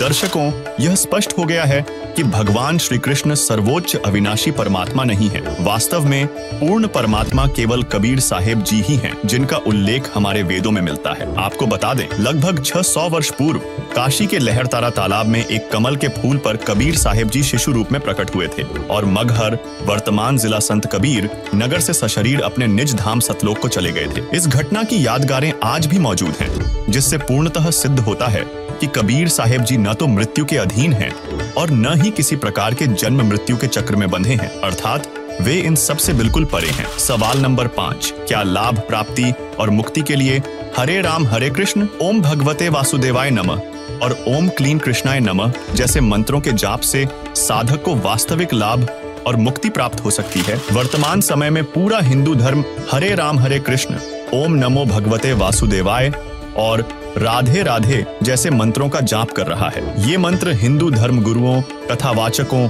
शंकराचार्यों और मंडलेश्वरों द्वारा मनमाने ढंग से प्रतिपादित किए गए हैं। लेकिन ध्यान देने वाली बात यह है कि इन मंत्रों का प्रमाण न तो वेदों में मिलता है और न ही श्रीमद भगवद गीता में। गीता जी के सोलहवें अध्याय के तेईसवें श्लोक में लिखा है कि शास्त्र विधि को त्याग कर जो मनमाना आचरण करते हैं, उनकी न तो गति होती है, न कोई सुख प्राप्त होता है न उनकी कोई सिद्धि प्राप्त होती है। यूजलेस गीता जी अध्याय नंबर सोलह के श्लोक चौबीस में तुरंत कहा है कि इससे तेरे लिए अर्जुन कर्तव्य और अकर्तव्य की व्यवस्था में सदग्रंथ ही प्रमाण है नथिंग एल्स किसी की दंत कथा पर मत विश्वास करना। जो अपने सदग्रंथों में लिखा है, उसी में वे ऑफ़ वर्शिप सही है फाइनल है। अब जैसे ये श्री कृष्ण जी के पुजारी, पवित्र हिंदू धर्म में जितने भी पुण्यात्मा हैं अब गीता जी को सिरोधार्य मानते हैं और नाम जपते हैं, हरे राम, हरे कृष्ण, राधे राधे, श्याम मिला दे ओम नमः शिवाय, ओम भागवते वासुदेव नमः एवे नमः। ये पता नहीं कितने मंत्र बना रखे गीता जी में है कोई मंत्र ऐसा? गीता जी में फाइनल फैसला कर रखे है। गीता जी दया नंबर आठ के श्लोक नंबर तेरह में कहा कि ओम इति एक अक्षरम ब्रह्म व्यवहारण माम अनुसमरण ये परियाति तदन देहम सयाति परमाम गति मुझ ब्रह्म का, माम ब्रह्म, मुझ ब्रह्म का केवल ओम इति एक अक्षरम ये ओम एक अक्षर है नथिंग एल्स और कुछ नहीं।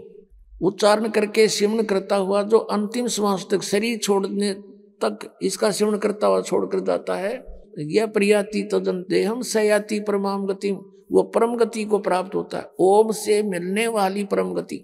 ओम से मिलने वाली श्रेष्ठ गति कौन सी है? ब्रह्म लोक प्राप्ति। क्योंकि ओम ब्रह्म का मंत्र है। गीता जी दया नंबर सात के श्लोक नंबर अठारह में गीता ज्ञान दाता ब्रह्म श्री कृष्ण जी में बोल रहा है।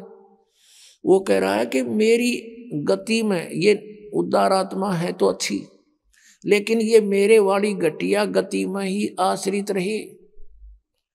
ओम से मिलने वाली जो सुविधा है, मोक्ष है जितना, कहते यो तो व्यर्थ है, घटिया है अनुतम है। अनुतम क्यों है? क्योंकि गीता ज्ञानदाता स्वयं कह रहा है, चौथे अध्याय के पाँचवें और नौवें श्लोक में, दूसरे अध्याय के बारहवें श्लोक में, दसवें अध्याय के दूसरे श्लोक में, अर्जुन तेरे और मेरे बहुत जन्म हो चुके हैं, तू नहीं जानता, मैं जानता हूँ। तो इसी से दह के जन्म मृत्यु, ब्रह्म की भी, और पुजारी भी फिर जो दुखी, जन्म और मृत्यु जैसा दुख नहीं पृथ्वी पर। इसलिए गीता ज्ञानदाता अठारहवें अध्याय के बैसठवें श्लोक में कहता अर्जुन, तू सर्वभाव से उस परमेश्वर की शरण में जा। उसकी कृपा से ही तू परम शांति को और सनातन परम धाम को प्राप्त होगा। अब पुण्यात्माओं सत्रहवें अध्याय के तेईसवें श्लोक में गीता जी में स्पष्ट किया है कि उस सचिदानंद घन ब्रह्म की पूजा, यानी तत्ब्रह्म उस परम अक्षर ब्रह्म की साधना का तीन मंत्र का जाप है। उसको प्राप्ति का, ओम तत्सत ओम ब्रह्म का सरपुरुष भी कहते हैं इस ब्रह्म को, और तत् अक्षर पुरुष का वो सांकेतिक है, और सत जो है परम अक्षर ब्रह्म का। इनकी मजदूरी करनी है। इन तीनों की साधना से ही परमात्मा प्राप्ति, सतलोक प्राप्ति होगी। ओम और तत् सांकेतिक है, ये दोनों मिलकर दो अक्षर का सतनाम बनता है। और तीसरा वो सार नाम है, जो सत कहा है, गीता जी अध्याय नंबर सत्रह के श्लोक तेईस में। तो कहने का भाव ये है कि हम साधना करने का खूब कोशिश की हमने। अब पढ़े गीता, और नाम ले, हरे कृष्ण कृष्ण कृष्ण, हरे हरे, राधे राधे। कोई बात हुई या बालकों का खेल बना रखे हमने, भगवान की तरफ़ जरा भी ध्यान नहीं दिया। गीता जी में है, कहीं ये मंत्र फिर जाप किस लिए कर रहे हो? परमात्मा का विधान है ये। हमने गीता जी के अतिरिक्त, वेदों के अतिरिक्त किसी की भी आदेश की पालना नहीं करनी है। यदि हम परमात्मा के विधान के विरुद्ध किसी की आज्ञा का पालन करके साधना करते हैं तो वो शास्त्र विधि को त्याग का मनमाना आचरण दर्शकों, शास्त्रों के अनुसार पूर्ण संत द्वारा दिए गए नाम के जाप से ही साधक को लाभ और मोक्ष प्राप्त हो सकता है। वर्तमान में शास्त्रों में वर्णित भक्ति क्रियाएँ और मंत्र प्रदान करने वाले एकमात्र पूर्ण संत सतगुरु रामपाल जी महाराज हैं। तो आइए, अब जान लेते हैं वे कौन से मंत्र हैं जो साधक को लाभ और मोक्ष की प्राप्ति में सहायक हैं। अब सत्र में जाए के गीता जी के तेईसवें श्लोक में कहा है कि उस सचिदानंद घन ब्रह्म के पाने का तीन मंत्र का जाप का निर्देश है नथिंग एल्स निर्देश माने नथिंग और कुछ नहीं सिंपल ओनली डायरेक्शन ये है, देखिएगा। सत्रहवें अध्याय का और तेईसवा श्लोक। श्रीमद भगवत गीता और ये सत्रहवा अध्याय। सत्रहवें का तेईसवा श्लोक है, ओम तत्सत इति निर्देश है ब्रह्मण है त्रिविध है समर्थ। है ब्राह्मणा तेन वेदा च यगा विहिता पुरा। ओम ओम, तत् तत्, सत सत। ऐसे यह तीन प्रकार का सचिदानंद घन ब्रह्म उस परम अक्षर ब्रह्म का मंत्र कहा है? अब सचिदानंद घन ब्रह्म परम अक्षर ब्रह्म का मंत्र, ओम तत्सत उसको पाने का। ओम तो पुणात्मा सीधा है ब्रह्म अक्षर पुरुष का। और जो तत् है वो अक्षर पुरुष का। और सत है ये परम अक्षर ब्रह्म का, ये भी कोड वर्ड है, सांकेतिक शब्द है। ओम और तत् जो सांकेतिक शब्द है वो दोनों मिलकर ये सतनाम बनता है दो अक्षर का। ज, और जिसका भी आज तक मोक्ष हुआ उन महापुरुषों ने इस सतनाम का जाप किया है। और जो सत्य है वो सारनाम की तरफ़ संकेत है। वो भी कोई अन्य मंत्र है। वो सांकेतिक कोड दास के पास है। इस पृथ्वी विश्व में किसी के पास नहीं। श्रीमद भागवत गीता में यह पुष्टि की गई है। कि बिना सच्चे गुरु की शरण लिए कोई भी मंत्र जाप अधूरा है और उससे मोक्ष की प्राप्ति संभव नहीं है। इसलिए जो साधक सच्ची मुक्ति और वास्तविक लाभ की इच्छा रखते हैं, उन्हें सर्वप्रथम सच्चे गुरु की शरण में जाना चाहिए और शास्त्रों के अनुसार सत्य साधना का मार्गदर्शन प्राप्त करना चाहिए। केवल सच्चे गुरु से प्राप्त नाम का जाप ही मुक्ति की प्राप्ति संभव कर सकता है। अन्यथा साधक के प्रयास निरर्थक रह जाते हैं। तो दर्शकों, इस स्पेशल एपिसोड देखने के बाद आपको स्पष्ट हो गया होगा कि जन्माष्टमी मनाना सिर्फ़ एक मनमानी लोक परंपरा है और इस दिन की जाने वाली धार्मिक क्रियाएँ भी व्यर्थ की साधनाएँ हैं, जिनसे साधक को कोई लाभ नहीं मिल सकता। भगवान श्री कृष्ण अपने भक्तों के प्रारब्ध के कर्म भी नहीं काट सकते। इसलिए उन्हें समर्थ शक्ति नहीं कहा जा सकता। सर्वशक्तिमान परमात्मा तो केवल कबीर साहेब जी है, जिनकी सता भक्ति वर्तमान में जगत गुरु तत्वदर्शी संत रामपाल जी महाराज द्वारा बताई जा रही है। आप सभी से निवेदन है कि संत रामपाल जी महाराज का ज्ञान समझकर नाम उपदेश ग्रहण करें और अपने अनमोल मानव जीवन को सुखमय बनाएँ तथा अपना कल्याण करवाएँ। आइए अब हम उन श्रद्धालुओं के अनुभव जानते हैं। जो जगत गुरु तत्वदर्शी संत रामपाल जी महाराज जी से दीक्षा प्राप्त कर चुके हैं तथा उनके द्वारा बताए गए भक्ति मार्ग पर चल रहे हैं। आइए अब सुनते हैं। संत रामपाल जी महाराज जी से नाम दीक्षा लेकर सतभक्ति करके अद्भुत लाभ प्राप्त करने वाले अनुयायियों के विचार। इस दुनिया में जब तक इंसान सच्चे ज्ञान से वंचित रहता है तब तक वह अंधविश्वास और गलत धारणाओं के जाल में फंसा रहता है। इंसान अपने दुखों का अंत ढूँढने के लिए न जाने कितने रास्ते अपनाता है, पर समाधान कहीं दिखाई नहीं देता। आज हम आपको एक ऐसे ही व्यक्ति की कहानी सुनाने जा रहे हैं, जिन्होंने वर्षों तक इसी भटकाव और अंधकार में जीवन बिताया है। यह कहानी है आजमगढ़, उत्तर प्रदेश के चंद्रजीत प्रजापति की। इन्होंने कई साल तक पारंपरिक पूजा साधनाएँ की, बहुत जगहों पर धक्के खाए और प्रेत बाधाओं से परेशान रहे। प्रेत बाधा के कारणवश ही एक भयानक दुर्घटना में इनके पिताजी की मृत्यु भी हो गई। इनके जीवन में एक बड़ा मोड़ तब आया जब इन्हें तत्वदर्शी संत रामपाल जी महाराज जी द्वारा लिखित पवित्र पुस्तक ज्ञान गंगा मिली। इस पुस्तक को पढ़ने के बाद इनके जीवन की दिशा बदल गई। चंद्रजीत जी ने अपने शारीरिक रोग के इलाज के लिए कई अस्पतालों का चक्कर लगाया, लेकिन कोई भी इलाज कारगर साबित नहीं हुआ। अंततः इन्होंने संत रामपाल जी महाराज से नाम दीक्षा ली और चमत्कारिक रूप से 12 साल पुरानी बवासीर ठीक हो गई और 25 साल पुरानी भूत बाधा जिससे ये बेहद परेशान थे वो भी संत जी की कृपा से समाप्त हो गई। तो आइए सुनते हैं चंद्रजीत प्रजापति की दुख भरी कहानी इन्हीं की जुबानी। नमस्कार सर। नमस्कार सर। सर क्या नाम है आपका? हमारा नाम जी चंद्रजीत प्रजापति है। सर कहाँ के रहने वाले हैं आप? जी उत्तर प्रदेश आजमगढ़ ज़िले से हमें। सर संत रामपाल जी महाराज से नाम दीक्षा आपने कब ली? सर हमने संत रामपाल जी महाराज से नाम दीक्षा सन 2012 में ली। सर संत रामपाल जी महाराज से नाम दीक्षा लेने से पहले आप क्या भक्ति साधनाएँ करते थे? जी हम इसे नकली पंथों से जुड़े हुए थे और सभी देवी देवताओं की भक्ति क्या करते थे जिससे हमको कोई लाभ नहीं हुआ सर। सर जो भक्ति साधनाएँ आप करते थे इनसे आपको क्या लाभ मिले? सर, उनसे तो हमें कोई खास लाभ नहीं मिला, हमारा नुकसान ही होता गया।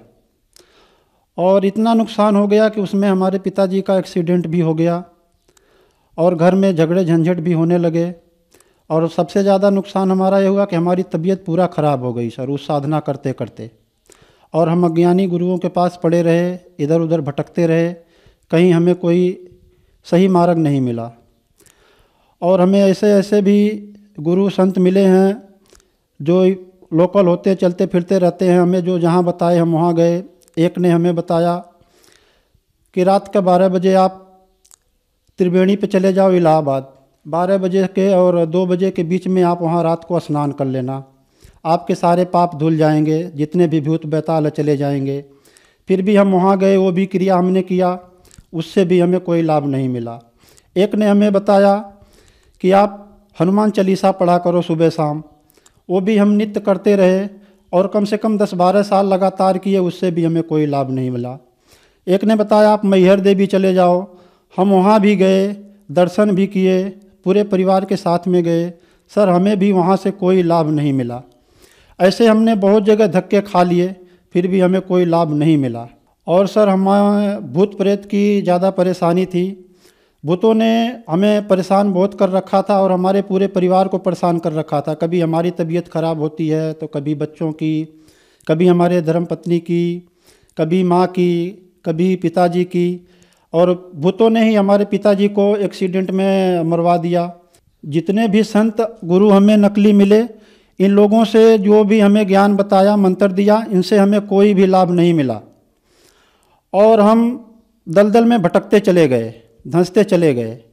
सर, आपने बताया कि आप जो भक्ति साधनाएँ करते थे, उनसे आपको कोई लाभ नहीं मिला। आपको भूत प्रेतों की बहुत समस्याएँ थी। भूत प्रेतों की समस्या की वजह से आपके पिताजी का एक्सीडेंट हो गया, उनकी मृत्यु हो गई। फिर आपको किसी संत ने बताया कि आप त्रिवेणी चले जाइए और रात बारह बजे से दो बजे तक गंगा में स्नान कीजिए। आपने वो भी करा। आपने सभी उपाय कर लिए। आखिर में आप हार कर बैठ गए कि अब इस समस्या का समाधान नहीं हो सकता। तो फिर संत रामपाल जी महाराज की जानकारी आपको कैसे मिली? जी, ये तो परमात्मा का ही चमत्कार है। बहुत अद्भुत खेल हुआ हमारे साथ। एक बार हम ट्रेन में सफ़र कर रहे थे, गुजरात से अपने उत्तर प्रदेश आजमगढ़ में आ रहे थे घर पे। तबीयत हमारी बहुत ख़राब थी। हम सोचे, अब हमारे पास कोई रास्ता नहीं है। कोई पुण्यात्मा था, बोलता, दस रुपये में ज्ञान ले लीजिए, दस रुपये में ज्ञान लीजिए। लेकिन उस डिब्बे में कोई भी वो दस रुपये की एक ही पुस्तक थी उस आत्मा के पास। कोई लेने के लिए तैयार नहीं हुआ। हम भी हाथ में लेके उसको वापस दे दिए। वापस दे देने के बाद हम बोले, भाई, ऐसे ही सब पाखंडी हैं। ये बात है, वो बात हमने भी भला बुरा कहा। हम परमात्मा से प्रार्थना भी करते हैं कि उस गलती का हमें क्षमा करना मालिक।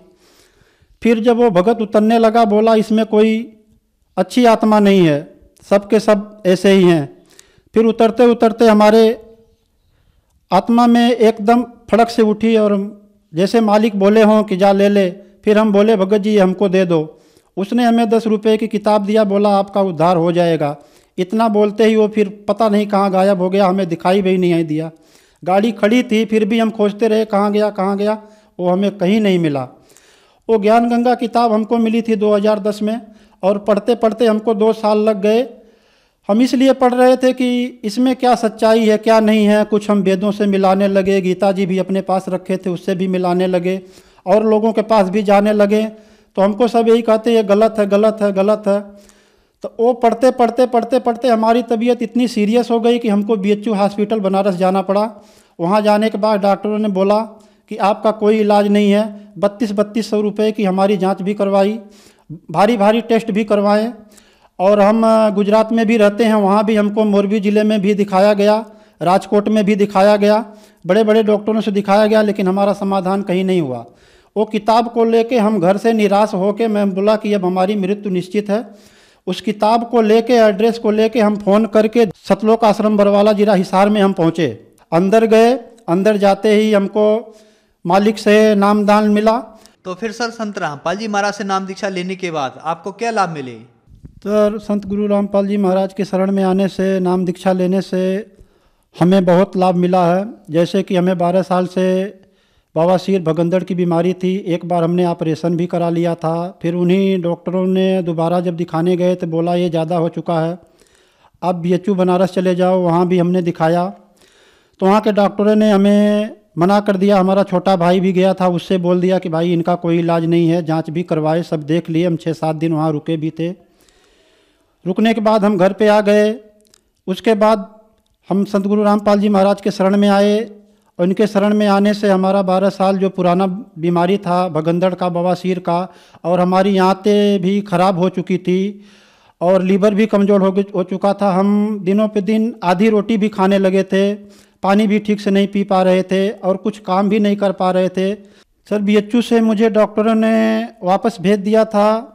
तो गुरु जी से नाम लेने के बाद मेरे को बिना दवाई, बिना कोई टोबलेट, न कोई झाड़ फूक मात्र नाम लेने से गुरु जी का, परमात्मा का नाम लेने से संत रामपाल जी महाराज जो नाम देते हैं, जो दीक्षा देते हैं, उसके मंत्र से कोई भी रोग मेरा पेट का जो बीमारी था, आंत एक तरफ़ की खराब हो चुकी थी, पूरी खराब हो चुकी थी, डॉक्टरों ने बोला था, जो भगंदड़ की बीमारी थी वो भी हो, पूरा एकदम ज़ोर पे थी, बोला कोई इलाज ही नहीं है, पूरा आपका गुद्दा काट के निकालना पड़ेगा, और लीवर में भी प्रॉब्लम था ये सब बीमारी जो मुझे इतने सालों से परेशान की थी, दस बारह सालों से, और मैं मिर्चा भी बिल्कुल नहीं खा पा रहा था, आज भी मेरे परिवार इसके गवाह हैं।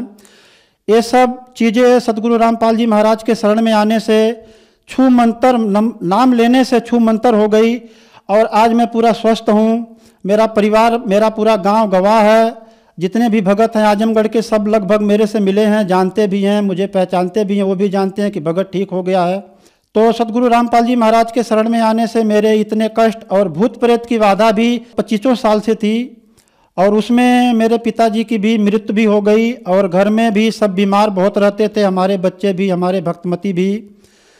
और हम ज़्यादा उन्हीं की वजह से बीमार रहते थे, जहाँ जाओ झाड़ फूक करवाने हो, वो ये बताता है, कोई जिन बताता है, कोई मेस्तर बताता है। जहाँ भी जाओ, कोई हज़ार, कोई पाँच सौ रुपये मांगते हैं ले ले के पैसे हमें खाली गिराते चले जाते हैं। और वो सब बीमारी से जूझते जूझते हमें जब गुरु जी का मंत्र परमात्मा कबीर साहब संत रामपाल जी महाराज के रूप में आए हुए हैं, उनसे नाम दीक्षा लिया। तो ये सारी समस्या हमारी भूतों प्रेतों की चुटकी में परमात्मा ने दूर कर दिया। आज हमारा शरीर पूरा फुला हुआ है, हम खुश हैं, पूरा परिवार हमारा सुखी है और पूरे परिवार सहित हम संत रामपाल जी महाराज के शरण में हैं। हमें आज कोई दुख नहीं है, ना कोई दवाई लेते हैं, ना कोई खाते हैं कभी अभी जब से हमने 2012 में नाम लिया था, उसके बाद आज तक हमने कोई दवाई नहीं खाई और ना हमारा परिवार कोई दवाई खाया है और आज हम पूरा सुखित हैं। संत रामपाल जी महाराज के शरण में आके, नाम दीक्षा लेके। सर, आपने बताया कि आपको 12 साल से बवासीर की बीमारी थी। आपने इलाज भी कराया, आपको भगंदर हो गया, आपकी एक आंत खराब हो गई, आपका गुर्दा भी खराब था, लीवर भी कमज़ोर था। आप में बीमारियाँ बीमारियाँ थी। डॉक्टर ने आपको मना कर दिया था कि आपको घर ले जाया जाए और सेवा करें। फिर आप संत रामपाल जी महाराज की शरण में आए। संत रामपाल जी महाराज ने आपको इन बीमारियों से छुटकारा दिलाया। और जो आपको 25 साल से भूत प्रेत की समस्या थी, जिसकी वजह से आपके पिताजी की मृत्यु हो गई थी, उससे भी संत रामपाल जी महाराज ने आपको छुटकारा दिलाया। इस बात का गवाह आपका पूरा गाँव है। तो जो श्रद्धालु आपको टीवी पर देख रहे हैं, आप उन लोगों को क्या संदेश देना चाहते हैं? क्या वो लोग भी ठीक हो सकते हैं? संत रामपाल जी महाराज से नाम दीक्षा लेने के बाद, उनको आप क्या कहना चाहते हैं? जी, हम सभी श्रद्धालुओं के, भक्तात्माओं को जो इधर उधर भटक रहे हैं और ऐसे ऐसे गुरुओं के पास जाके अपना मूल जीवन जो गंवा रहे हैं, हमने भी बहुत भटका है, बहुत जगह जगह हमने गए हैं, हमें जो जहाँ बताया है, वहाँ गए हैं। हमें कोई बताया कि आप द्वारिका चले जाओ, हम द्वारिका भी गए हैं। कोई बताया बताया सोमनाथ चले जाओ, हम वहाँ भी गए हैं। कोई बताया आप त्रिवेणी पे चले जाओ, संगम में, इलाहाबाद, वहाँ भी हमने रात को भी गए हैं। ऐसे ऐसे हम बहुत प्रमाण बताते हैं, बिहार हम गया में भी गए हैं। कोई बताता, बैजनाथ चले जाओ, आपकी सारी समस्या दूर हो जाएगी। रात रात भर हमसे कोई कोई संत ऐसे मिले हैं जो जाप करवाए हैं। हम बहुत जगह भटके हैं तो आप लोग को से प्रार्थना है कि आप लोग भी ऐसे ऐसे जगह मत जाइए। यहाँ से आपको भी लाभ नहीं मिलेगा, छुटकारा आपका नहीं होगा। और आप लोगों से हम प्रार्थना करते हैं कि आप शास्त्रों को पहले सतगुरु रामपाल जी महाराज जो हैं, इनके किताबों को पढ़िए, देखिए, समझिए, शास्त्रों से मिलाइए, फिर आप देखिए। और टीवी पे भी आप देखते हैं कि रोज़ चैनल पे परमात्मा सतगुरु रामपाल जी महाराज का सत्संग आता है, उस पे आप देख के विश्वास कीजिए। जैसे हमारे रोग ठीक हुए हैं आप लोगों का भी ठीक हो सकता है। परमात्मा सब पे दया करते हैं आप पे भी करेंगे। और इधर उधर भटकने से अच्छा है कि परमात्मा आए हैं आप लोग आएँ नाम दीक्षा लें और भक्ति करें अपना कल्याण कराएँ। हम आपसे यही प्रार्थना करते हैं। सर संत रामपाल जी महाराज से नाम दीक्षा कैसे ली जा सकती है? सर सदगुरु रामपाल जी महाराज का सत्संग बहुत टीवी चैनलों पे आता है। जैसे मुझे याद है कि चैनल है उसके नीचे पट्टी आती है। उस पर बहुत सारे नंबर लिखे होते हैं। उन नंबरों को आप मिला के आप अपने ही ज़िले में नज़दीकी जहाँ सेंटर बने हैं परमात्मा सतगुरु रामपाल जी महाराज का वहाँ संपर्क करके आप वहीं से नाम दीक्षा प्राप्त कर सकते हैं। घर बैठे आप भक्ति कर सकते हैं। सारे सुख परमात्मा आपको देंगे। नाम दीक्षा लें और अपना कल्याण कराएँ। धन्यवाद सर। सत साहिब।